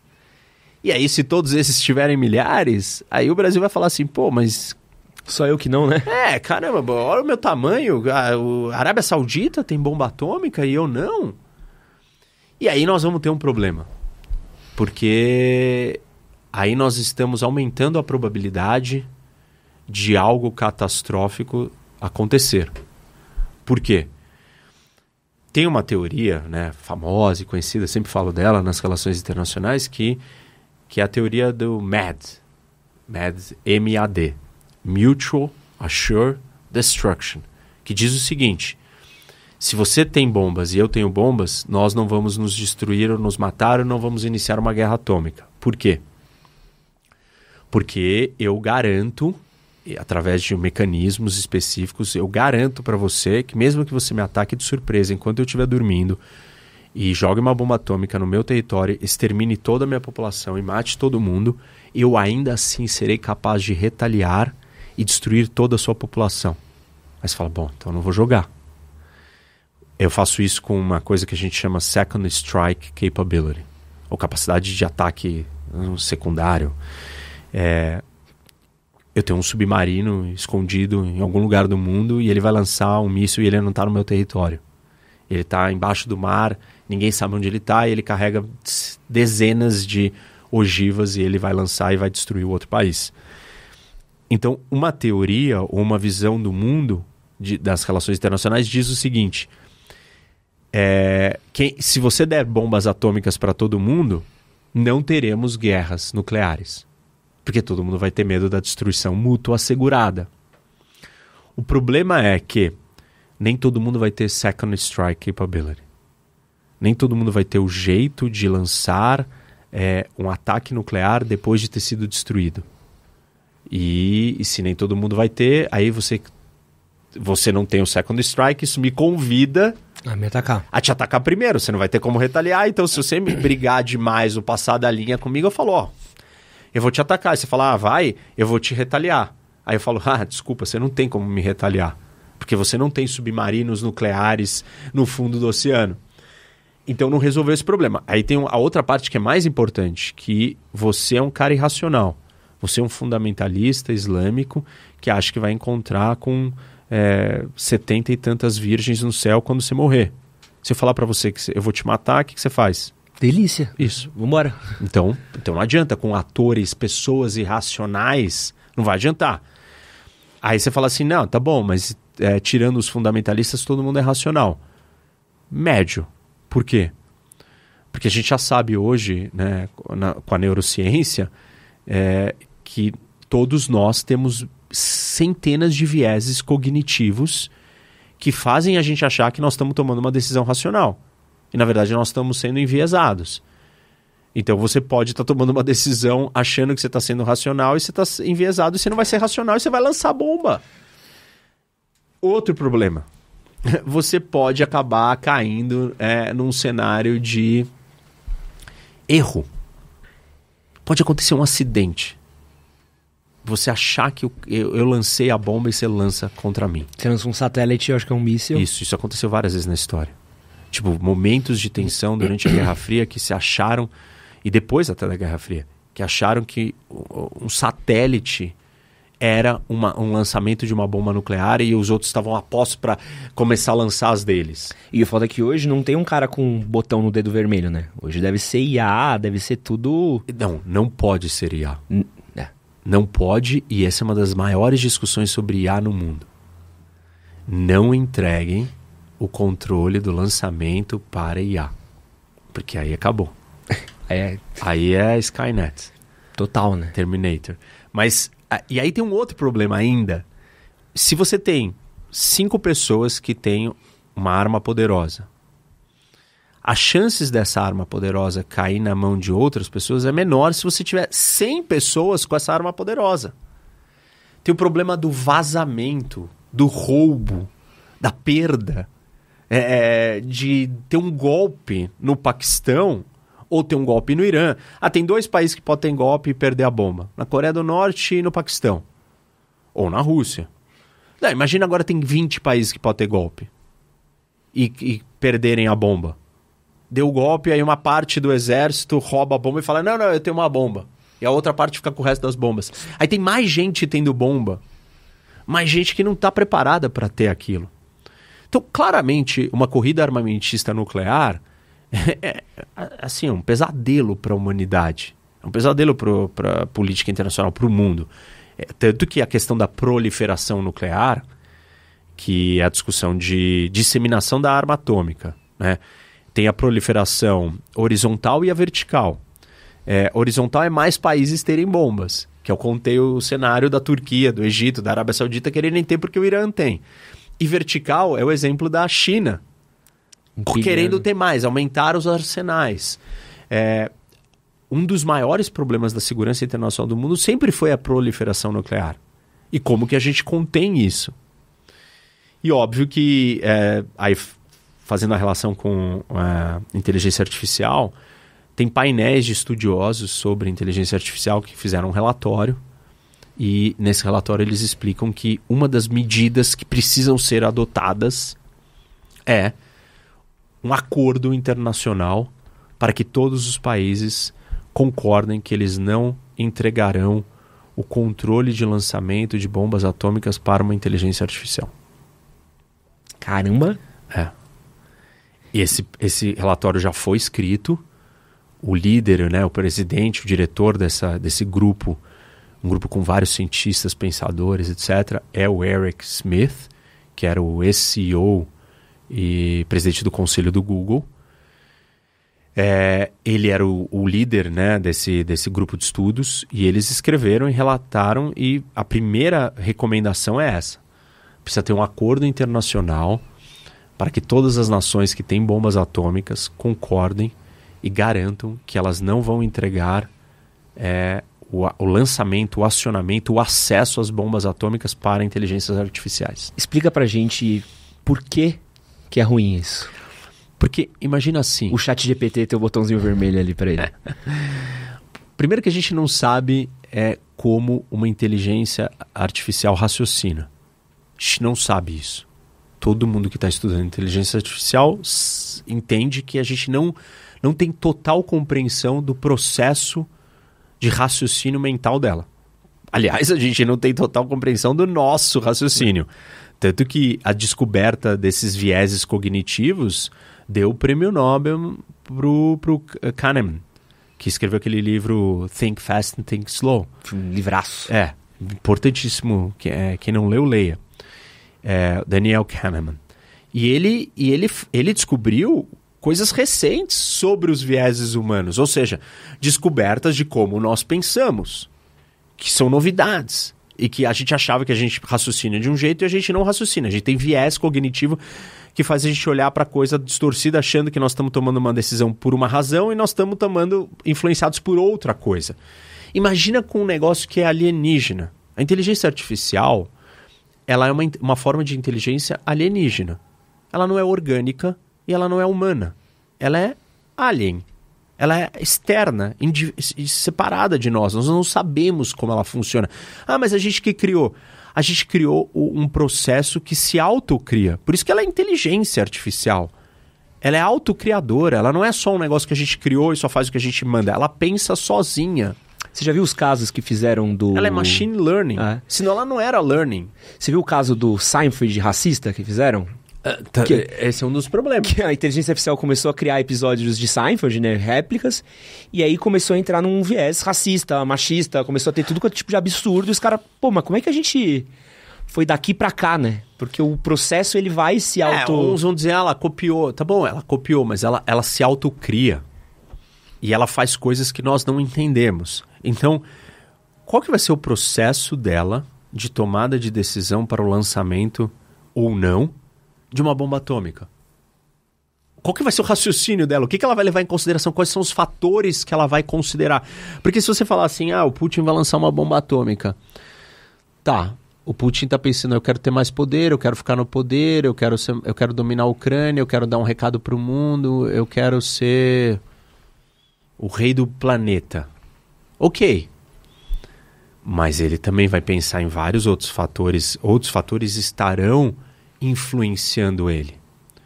Tipo, eu vou destruir o mundo? Eu vou me destruir? Sei lá, tem, tem coisas que vão ser levadas em consideração que são humanas por o mais vilão e perverso que ele possa ser, ele tem um elemento humano. E tem outros seres humanos do lado dele que vão ter que executar essa ordem, que são influenciados por outros fatores. A gente, se a gente não sabe como a inteligência artificial pensa, se a gente não sabe quais vão ser os fatores que ela vai considerar, e se a gente não sabe, e se ela não tem mais ninguém para consultar, se ela é a tomadora da decisão, pô, ela pode fazer disso de um jogo racional, lógico de teoria dos jogos e chegar à conclusão que lançando ela vence a guerra. E o objetivo dela pode ser muito estreito, né? Vencer a guerra. Que pode se torna burro no grande esquema das coisas ou na, na, na, na, na foto total. Se tornaria burro. Mas para ela, não. Se ela está direcionada para uma missão vencer a guerra, se ela é uma inteligência artificial militar de vencer a guerra, como é que ela vai computar o- os custos de não guerra nessa tomada de decisão? E óbvio que se ela estiver lidando com outras inteligências artificiais, ela vai entender como o outro vai pensar, né? Ou como a outro similar a ela pensa e ela, e ela pode tomar decisão. Então, é um risco muito grande. Sem falar na parte, essa é a parte dela errar, né? Dela tomar a decisão por um, por um, por, pelos fatores errados. Existe a parte dela ter poder próprio e falar assim: eu vou destruir a humanidade, que é o Skynet. É o cenário Skynet. É, ela tem o poder da- de lançar ou usar. Ela tem em suas mãos a arma mais poderosa do mundo. Se ela achar que a, a humanidade é uma coisa Obsoleta. incômodo para ela, ela tem o meio de exterminar a humanidade. Tranquilinho, papai. Pedi pra você que acabou de ouvir essa parte aqui também tá tremendo nas calças que nem eu aqui, ó. Não esqueci de deixar o like, mas compartilha tem- enquanto você pode esse podcast. Tem, tem é, gente falando sobre inteligência artificial dizendo que nós, as- todos os experimentos de, de AI deveriam ser feitos numa ilha isolada, com possibilidade total de cortá-la do resto do planeta. Eletronicamente, digitalmente, rádio, qualquer frequência, energia. Tipo, tem gente que fala assim: meu, esses experimentos deveriam estar acontecendo sobre nesse contexto de segurança. Tu não olha pro rolê da inteligência artificial e não tem uma visão muito parecida, porque eu acabei de assistir Oppenheimer, tá muito fresco, Aham. assim. E é o sentimento que vai do filme, todo mundo tá olhando, é tipo, é um trilho do trem com uma pontezinha quebrada ali na frente. Todo mundo olha e fala assim, pô, estamos fazendo isso daqui? Mas a gente sabe no que vai dar. Pois é. Não parece um pouco essa impressão que a gente tá, a gente sabe no que o, o risco que tá. Então, aí é o problema, né? É, da humanidade ela ser lenta. Ela posterga, né? Ela prosca- procrastina as decisões. Ela fala, não, tá bom. Tipo, ela, ela não trata as coisas com a seriedade que ela tem que tratar. Ela é autodestrutiva. O ser humano é des- autodestrutivo. A sociedade é autodestrutiva. Nenhum avanço que a gente conquistou é um avanço garantido. A gente pode sempre retroceder. Sempre em qualquer situação, qualquer conquista, até nas conquistas científicas, a gente pode retroceder. Tem gente falando que a Terra é plana. A gente descobriu que a Terra não era plana e aí agora as pessoas retrocederam. Na, na ciência, eu não estou retroceder, eu não tô falando de retroceder de costumes, é, de direitos, de justiça social. Eu estou falando de retroceder em, em fatos científicos. Então tudo é possível para o ser humano. Claramente a gente não está levando isso a sério. E assim, eu, eu não estou falando de inteligência artificial ter controle de bomba atômica. Perfeito. Eu estou falando de coisas muito mais simples, né? O efeito que os algoritmos e, e os bots tiveram na vida política do mundo e na, e na teia social dos, das sociedades e, e, nas relações humanas e o efeito que o chat GPT dentro da, da, de uma rede social pode ter quando ele criar um perfil dele que a gente não vai saber que é um perfil de inteligência artificial. Não, e também pensar o impacto econômico, né? Pensa o quantidade de emprego que você desliga assim. Porque a gente fala muito. Eu, gosto, eu, eu não gosto do exemplo do lampião, porque o do lampião uhum. para a luz elétrica, uhum. a gente teve um. Se olhar um processo, ele vai fazendo assim, né? Uhum. Cruzado. Quando você liga essa chave, e é uma chave que vai acontecer, pensa a quantidade de gente na rua que a gente tem e o caos social que você tem de você ter milhares, mais milhões de, de desempregados no seu, seu país sem você ter onde alocar eles. É, você uma das propostas, né, para robotização, automação é, do emprego ou da né, inteligência artificial substituir é você criar um fundo é, proveniente do, dos lucros e rendimentos gerados com essa mão de obra mecânica e esse fundo dar é, renda para as pessoas. A renda básica universal. Isso, mais ou menos, alguma coisa nessa linha. Aí tem alguns problemas. Como é que vai ser uma humanidade que não trabalha? Porque assim, ok, o trabalho ele tem um propósito que é o do sustento. Mas tem uma outra discussão que o trabalho tem um propósito de ocupar a sua vida, de dar sentido para a sua vida, de, é, de servir como superação de desafios, de um norte, de você manifestar aquilo que você quer colocar no mundo. Uma pessoa que tem uma, uma pessoas que não sabem o que querem fazer da vida, elas, elas ficam perdidas, elas têm dificuldades de se encaixar, elas têm frustração, elas têm problemas psicológicos provenientes de ela não saber o que ela gosta, o que ela quer fazer, ou ela trabalha com o que ela não gosta, ou ela não trabalha, entendeu?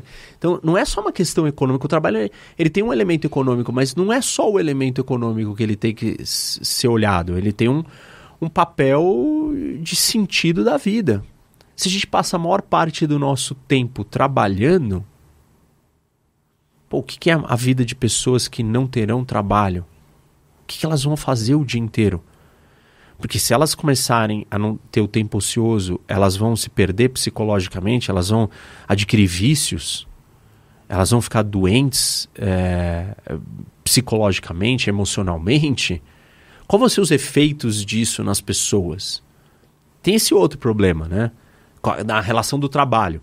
Claro que não é só a inteligência artificial que vai tirar o trabalho, transformações tecnológicas diversas mudam a natureza do trabalho, e esse é um dos problemas do mundo hoje, em vários países e em vários setores, é, que causa turbilhão ou é, tensão política.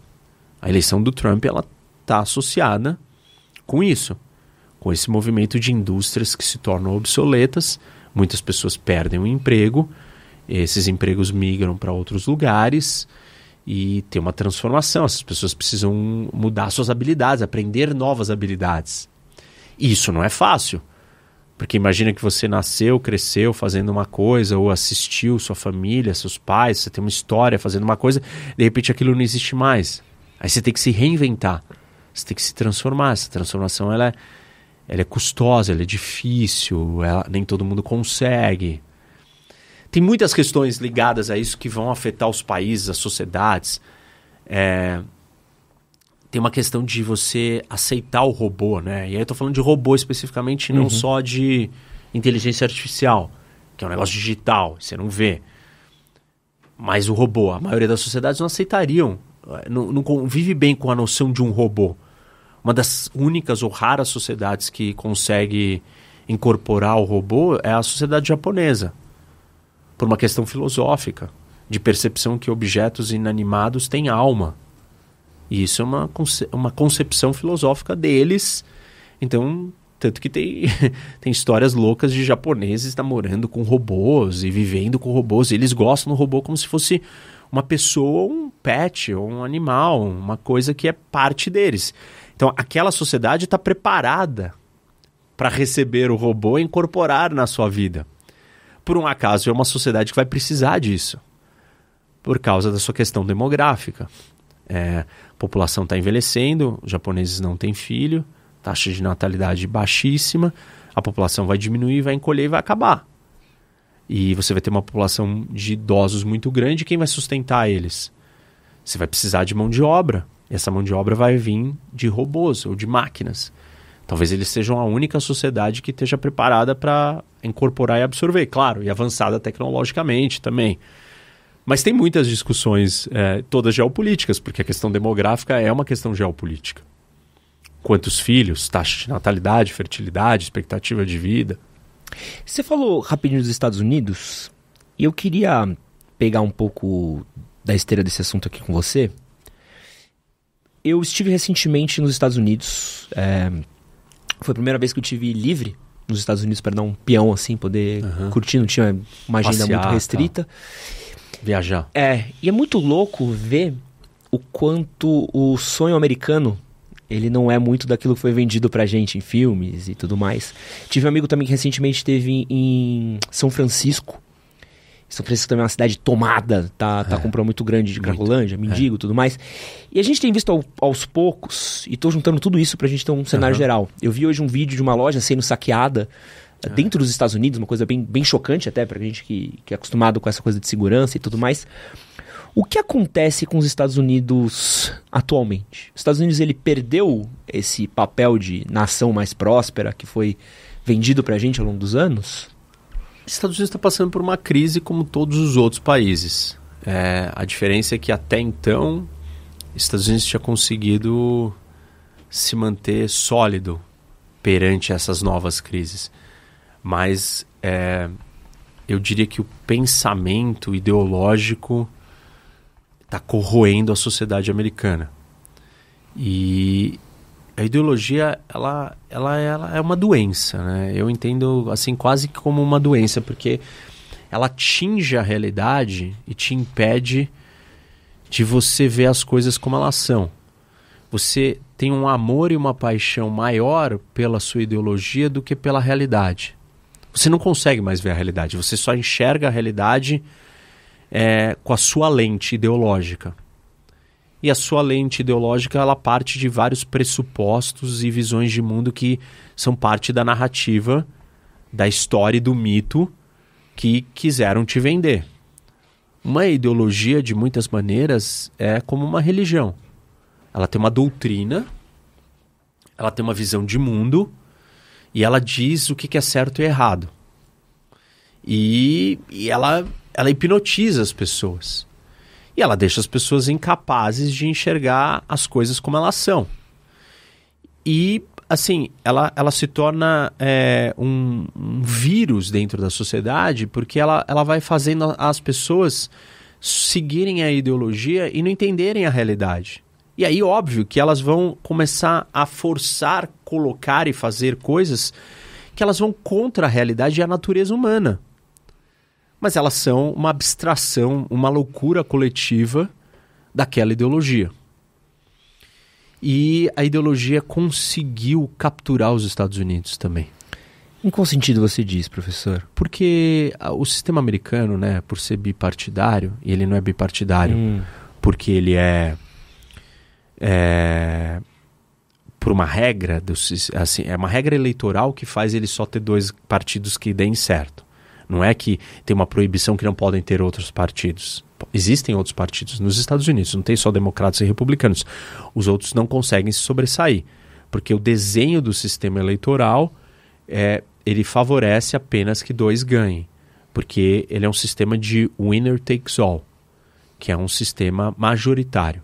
Como as nossas eleições para prefeito, Uhum. para governador e presidente. Só um ganha. Só que as eleições de tudo deles é assim, só um ganha. Não é proporcional, né? Então, você tem um distrito, que é esse, esse território aqui, e aqui só um vai ganhar. Então, o que, que você acaba tendo? Dois candidatos só. É, favoritos. Não adianta ter milhões. Porque o cara que tem pouca chance, o que, que ele faz? Não tenho chance de ganhar. Porque só um ganha. O que, que eu faço? Eu me junto a você. Falo, vai você. Aí você fala, meu, mas eu tô em quinto. Cara, deixa eu me juntar com o segundo. E aí vai eliminando a quantidade de candidatos. Ao mesmo tempo que esse sistema cria é, dois partidos apenas, essa regra eleitoral, que não é igual à regra eleitoral do Brasil. Nós só temos essa regra eleitoral no nosso executivo.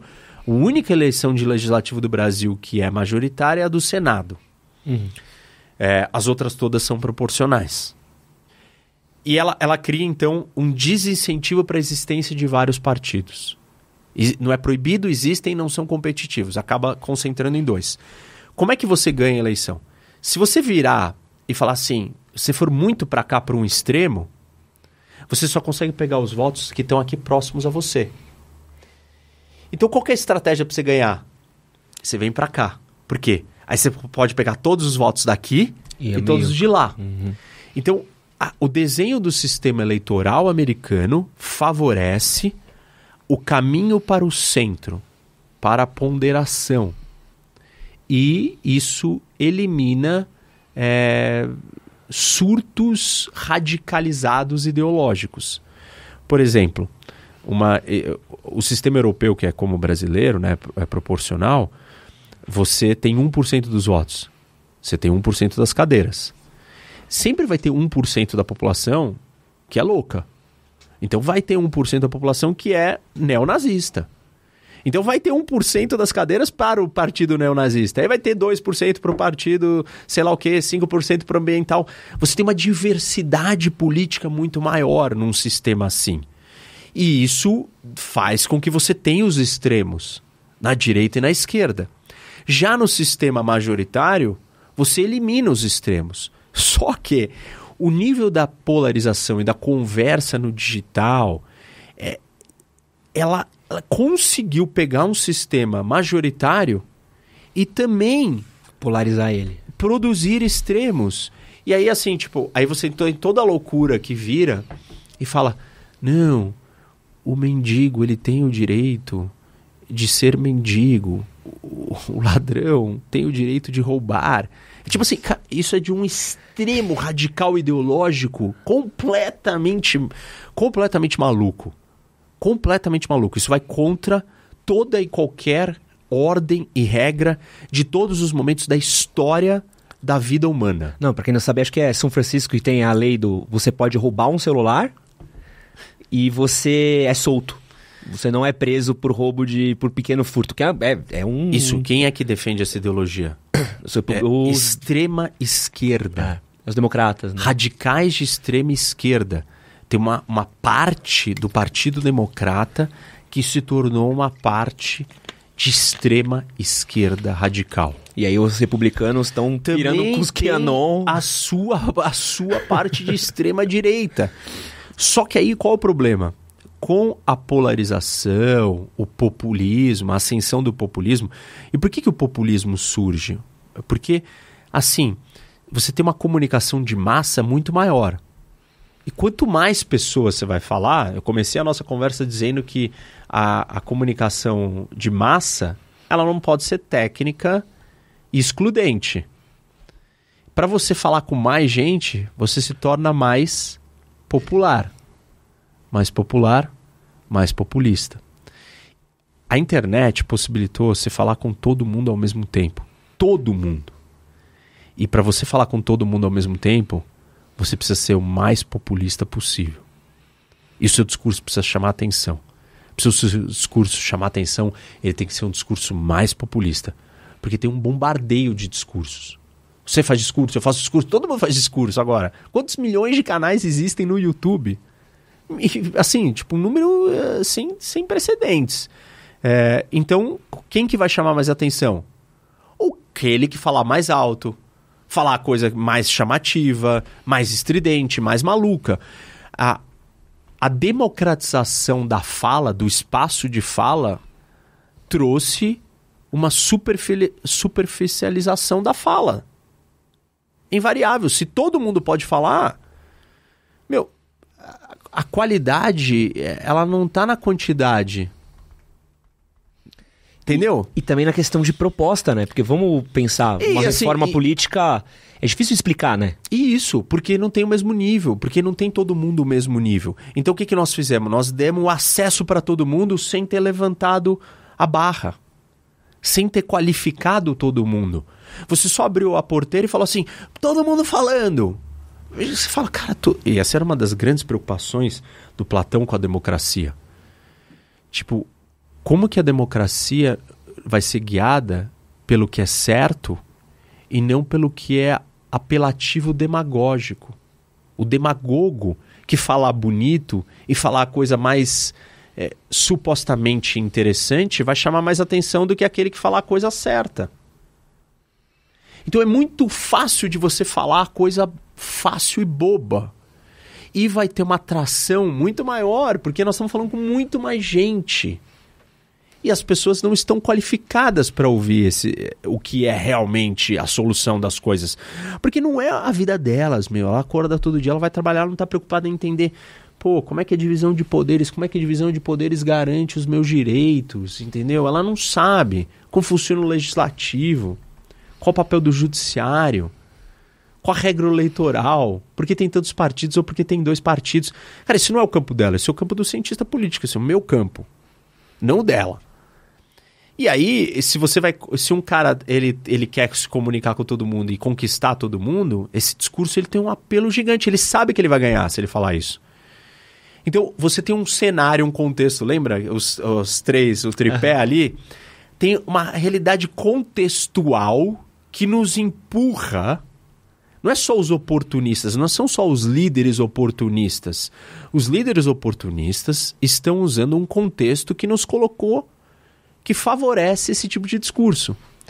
E aí os Estados Unidos foi capturado por esse mesmo problema que todo mundo. Só que aí a casa caiu, porque é, tipo, se, se a maior democracia do mundo ela também entrou nesse processo de, de decomposição, as democracias têm um sério problema. E as pessoas podem achar que, ah, mas isso não é relevante.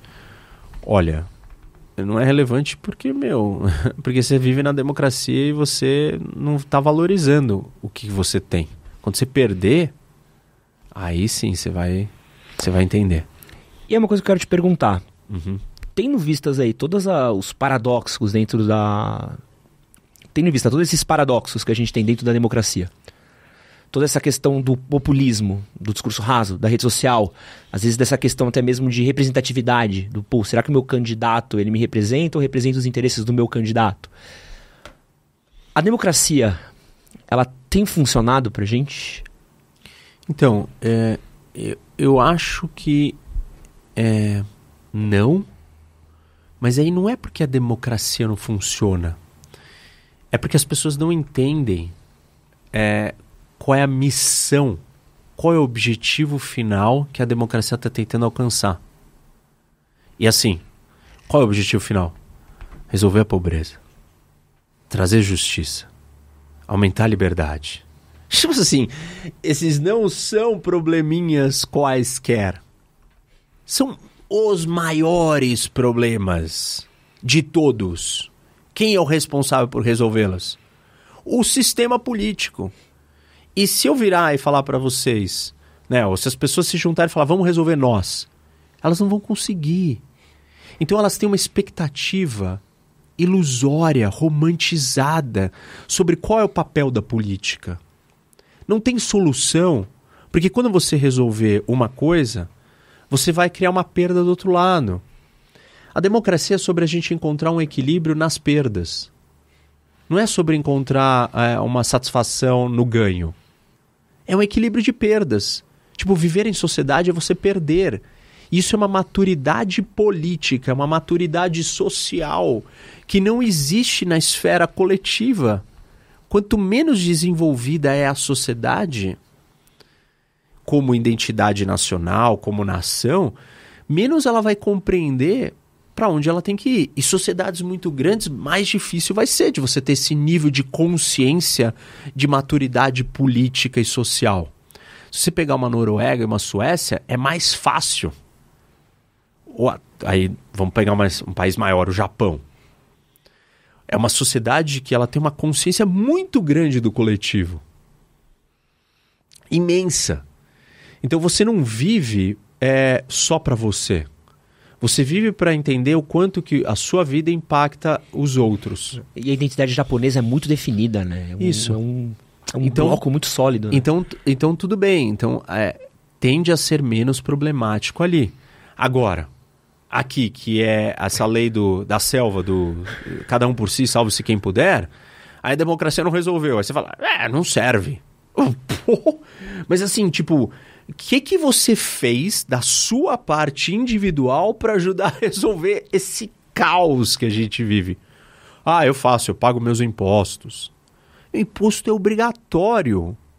Ah, não, eu voto. O voto no Brasil é obrigatório. Então, claro que você não faz nada. Ou você, ou você faz muito pouco. A maioria das pessoas não faz nada. E tá bom, ela não precisa fazer, mas aí então ela tem que confiar e respeitar aqueles que fazem. Mas aí tem uma descrença gigante com os que fazem. Justificada. É. Mas, assim, tem um problema aí que as pessoas não aceitam e não entendem. Quem elegem, quem elege os caras que não fazem nada, Não, isso... é, então pronto. Quem gosta de, de maluco, de populista, é, de ideólogo, é, é o brasileiro. O brasileiro ama um ideólogo maluco populista. E, tipo, desculpa, se você é apaixonado por um líder político eh, de uma forma que você trata ele como Deus, ou, ou você trata ele como a sua torcida, o seu time de futebol, você claramente não entendeu o que é a política, como ela funciona, e a gente volta para o começo da nossa conversa. Como a política funciona. Por que, que é importante você entender como a política funciona? Porque a sua vida depende da política. Não depende porque a regra da sua cidade que vai afetar o seu negócio, sua vida. Não é só isso, porque você é um animal político. Todo dia você faz política. Com a sua família, com seus filhos, com seus pais, com seus irmãos, com seus tios, com seus amigos, com seus funcionários, com seus chefes, com todo mundo. E, assim, aí as pessoas colocam uma expectativa gigante na democracia, não entenderam que viver em sociedade é troca, é você colocar em primeiro lugar os interesses da nação. A mesma pergunta que você me fez, ah, a questão da representatividade, como é que eu vou saber se o cara que está me representando está representando os meus interesses e não os dele? Você já fez essa pergunta? Como é que você é, definiu os seus interesses e como que os seus interesses se encaixam com os interesses do Brasil? Ou você só está preocupado que o cara vá lá defender os seus interesses? Porque não é diferente. A postura do brasileiro não é diferente da, do político brasileiro. A maioria dos políticos brasileiros e a maioria dos brasileiros se comportam desse jeito. Eles defendem os seus interesses. Os seus interesses não é os interesses da nação. E aí você tem que estar preparado para abdicar dos seus interesses pelo interesse da nação. E todo mundo tem que genuinamente ter esse espírito para eu sentar na mesa com você e eu abdicar do meu interesse, você não ser um malandro ideólogo que vai impor os seus interesses em cima de mim. E aí eu cedi porque eu pensei na nação, mas você foi esperto e só fez eu ceder para conquistar os seus interesses. Aí você tem que genuinamente respeitar esse espírito e eu também. E aí a gente juntos fala: Cara, é, eu entendi que esse é o seu, você entendeu o meu, mas tem o da nação. Como é que a gente junta essas três partes e encontra um meio termo? Nunca vai ser do jeito que eu quero e nunca vai ser do jeito que você quer. E vai ter que ter um pouco do que você quer e um pouco do que eu quero. É muito difícil para as pessoas aceitarem que vai ter que ter um pouco do que elas odeiam.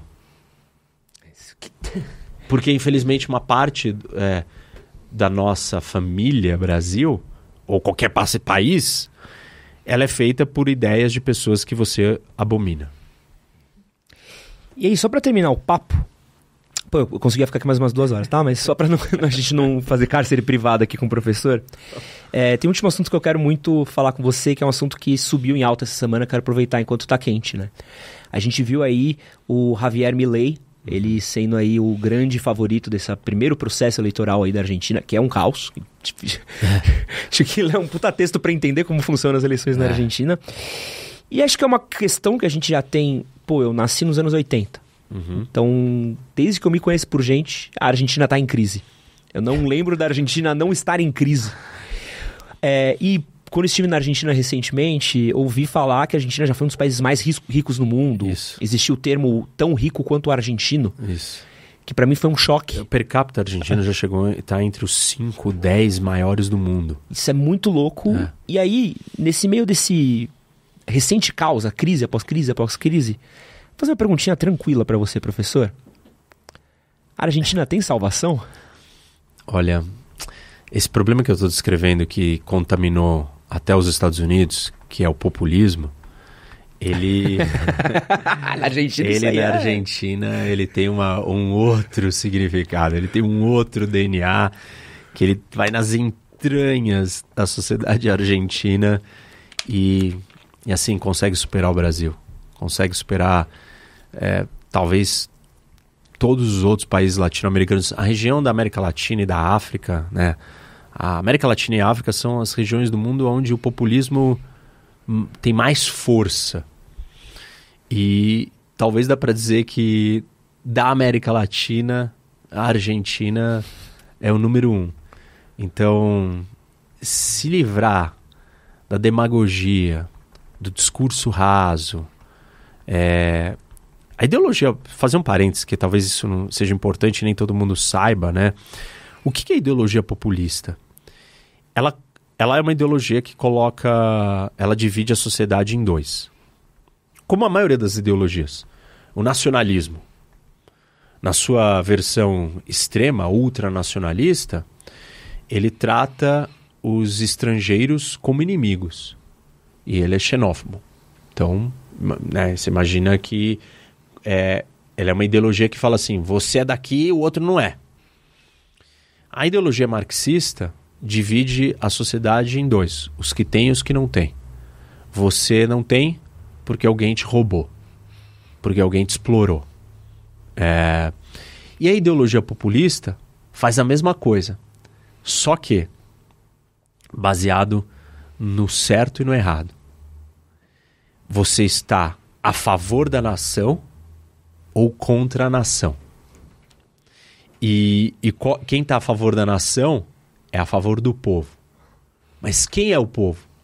O que aquele, o, o que aquele líder disse que o povo quer.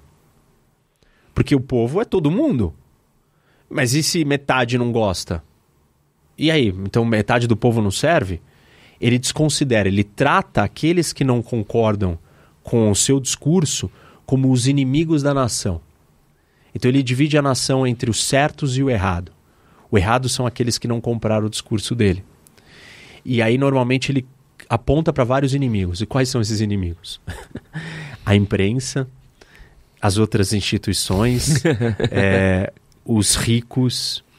É, tipo assim, é, qualquer um que ele, ele use de bode expiatório para é. falar: ó, tem um grande complô contra nós. Eu sou o defensor do povo.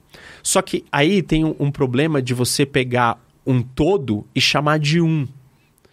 E você acaba com a pluralidade. E a democracia é sobre pluralidade. O que, que é pluralidade? É, é muitos, cada um separado, isolado mas todos vivendo no mesmo lugar e com o mesmo objetivo em comum. Olha que loucura. É, quantas pessoas foram eleitas falando isso, né? Pô, então, não dá. Então você vira e você junta todo mundo e fala assim: somos nós aqui e aqueles caras são do mal. e eles querem nos destruir. Só que ele dita o que é o todo, então não tem pluralidade. Porque se ele chamou o povo de um, e ele pegou e, e definiu o que era o povo, é, e ele chamou isso de popular. E é uma microideologia, porque existe populista de direita e de esquerda. Porque ela não é uma ideologia completa, ela não te dá uma solução da vida. Ela não vira e fala assim: olha, o mais importante na sua vida é, é o companheiro, o operário. Ela não, ela não fala tudo de como você tem que viver explica tudo. Então ela incorpora as ideologias de esquerda e de direita. Ela incorpora, por exemplo, você tem. A gente teve populista neoliberal é, no Brasil, que foi o Collor, que era um cara mais à direita. E aí a gente tem os populistas de esquerda, o Lula e, e os outros são populistas de esquerda. Então você tem. A, a, a, é, ela é maleável. Ela incorpora o resto das, das, explicações do mundo das outras grandes ideologias. E por isso que você vai ter eh, populismo de tudo quanto é lado, de tudo quanto é jeito. E óbvio que um populista puxa o outro populista, porque como é que você responde a um discurso populista? Só se você disser e criar a mesma narrativa. Eles é que são os inimigos da Argentina. E aí você tem a mesma narrativa. Então, o surgimento de um movimento populista, para você combater e vencer ele, a melhor arma é você copiar aquela estratégia. E aí você vai ter o outro populista do outro lado. Só que aí você vai ficar preso no, nesse pêndulo. Que a Argentina tá presa já. Isso. É, e que o, que o Brasil também né, entrou nisso e não, parece que não vai conseguir sair. Mas a gente ainda tá a gente não precisa de um carrinho para carregar, ah, para comprar um, uma não. jujuba na esquina. Não, não precisa. A gente tem várias coisas que a gente não precisa. Somos muito maiores, é mais difícil da gente descer essa ladeira, né? Tem algumas travas a mais eles perderam todas as travas. Então eu não acho que a Argentina. Porque assim, você imagina o seguinte: é tanto tempo, como você disse, que uma nova geração já nasceu. No caos, né? No... Isso, entendendo que, meu, política é isso, ela não conhece outros discursos. Ela já foi cooptada pela ideologia de cara. Ninguém nasce ide é, ideólogo. Mas você adquire um amor por uma ideologia e só tem ideologia populista, você vai adquirir um amor por uma ou por outra. Porque não tem no, no não tem no mercado outra alternativa. Meu, só tem é, a, a iPhone ou Samsung. Nossa. Apple ou Samsung, não tem outro. Entendeu? Só tem um ou outro. Não, e é louco. Eu, eu, quando fui lá, eu ficava imaginando como deve ser viver lá. É.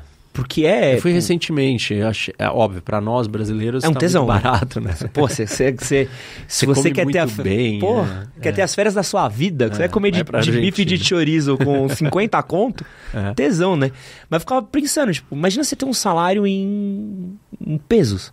É. Você recebe na sexta, no, na segunda, seu, seu, sua conta bancária vale metade do que vale na sexta. É. A gente viveu isso, né? Mas foi um. Eu, eu, peguei o finalzinho disso e foi um ah, intervalo não. curto até, né? Comparado com o que a Argentina está vivendo. Ah, sim, ela é. vive isso há muito mais tempo. E, não, e é, é assim, muito difícil dela conseguir, porque a, o remédio, óbvio que vai ser doloroso. Você tá há 30 anos bebendo, obeso.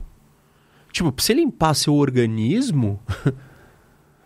Não vai ser, tipo, não é virar e falar assim, não, agora eu parei de beber e tá tudo bem. Não, primeiro que, né, você vai ter que conseguir largar, você, aí você vai ter que fazer todo um processo de, de recuperação dessa economia. E esse processo vai ser doloroso. E aí a população não tem paciência, porque ela é imatura. Ela não está entendendo, ela não participa, ela acha que tipo, esse problema é externo a ela, não foi ela que criou isso. Ela não entendeu que o problema está colocado e ela é parte do problema. As sociedades, é, elas, é, as pessoas têm dificuldade. A não ser que você tenha um nível de consciência muito elevado, como eu citei, do Japão, da Noruega, da Suécia, da Suíça, onde todo mundo se sente parte, fala, meu, esse problema é meu. E não dorme à noite quebrando a cabeça. Meu, mas se a gente abrir a economia, é, nós vamos quebrar umas indústrias nacionais. Pô, e várias pessoas podem ter desemprego. Mas e se a gente não abrir, nós vamos ficar para trás. E no longo prazo nós vamos estar numa situação pior do que lidar com esse problema agora, enquanto a gente ainda tem fôlego e dinheiro para tentar realocar essas pessoas. são sempre dilemas. A política não, liga, não lida com uma decisãozinha simples assim, ah, veja bem, aqui tem a decisão certa e ali é errada. É um dilema. Vai incomodar muita gente. E você participa desse dilema, você fala, meu Deus, eu tenho os meus dilemas, eu não quero nem pensar nisso, porque esses dilemas são muito difíceis. E as pessoas precisariam não dormir à noite pensando nisso. Com sinceridade. É que ela não consegue se transportar para o sapato do outro, né? Ela não, não, imagina. Aquele cara vai se dar mal. Se fosse comigo, eu aceitaria isso? Não. Mas eu preciso de uma solução. Pô, então vai lá, sente a dor dele e propõe uma coisa que você consiga convencer ele.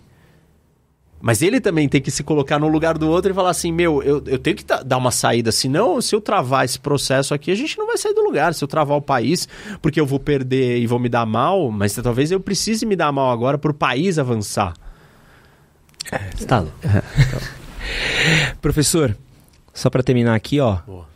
Fico na dúvida se o professor Rock parece mais com Robert Downey Jr ou com o Roberto Carlos, jogador de futebol. É um ah, mix bom vi. dos dois aí. Meu, falam pô... que eu pareço com o Wolverine. Não, o Wolverine parece o Jackman? É, com a raspa, cabelo raspado. É que eu também já eu, eu tenho cabelo, né? Eu ah, raspo. Tá, tá. E aí o meu cabelo em pé, assim, aí você tem que olhar umas tá. fotos aí vai ficar mais claro. Mas tem ele de cabelo raspado. É... Tem o Jason Statham, sabe? É bom, bom. Que é o cara que faz aqueles sei, sei, sei. Mega ação. Tubarão, pô. É, isso, Mega Tubarão. e... Cara, tem vários outros, assim, agora eu não tô lembrando. Professor Xavier, pô, por causa do cabelo. Aí o Robert Downey Jr. tá parecidinho, assim, ainda mais que tá grisalho, fica, fica bem. Professor, quem quiser saber com quem você parece mais, acompanhar seu trabalho, é, ler seu livro, pô. onde é que mais então, pode te seguir? Convido todos vocês a irem no meu canal. Pô, essa, essa conversa aqui que a gente é, teve. Tem aulas, assim, inúmeras, horas e horas de aula, geopolítica dos Estados Unidos, geopolítica disso, daquilo, dos pa vários países, várias situações. É, temos vídeo, temos live, vídeo toda semana. Então vai no canal do YouTube, Professor Rock, Rock H-O-C, que é meu nome, Rene Ozzy Coquier, Rene, com som de R no H. É difícil, ninguém acerta, mas se acertou, fiquei feliz. É, e Instagram, TikTok também. Professor Rock. É, As dancinhas do professor no TikTok são ótimas. e quem tiver interessado no livro, gostou aqui do livro, é, manda uma mensagem no Instagram. É, a gente vende o livro autografado. E aí. Olha lá, o Edson já tá aqui. É, e aí manda uma mensagem, a gente entra em contato e você pode adquirir o livro autografado. Convido vocês a acompanharem, gostar no Geopolítica, é um assunto muito importante é, e tem tudo a ver para a gente conseguir ter noção para onde o mundo está indo. E quero agradecer a todo mundo que indicou o professor Rocker para vir aqui no podcast. Ah, Foi um convidado muito pedido pela gente. Opa, muito pedido. Um papo incrível. Espero que vocês tenham gostado, que tenha Pô. sido diferente aí das Pô, outras falas. Se vocês não gostaram, eu adorei. Apesar de sair daqui com desespero, vou dormir ah, mais preocupado parte, Mas mais realista. Importante a gente ser realista. muito obrigado você ficou até aqui. Um grande beijo e é nóis. Valeu. Obrigado, gente.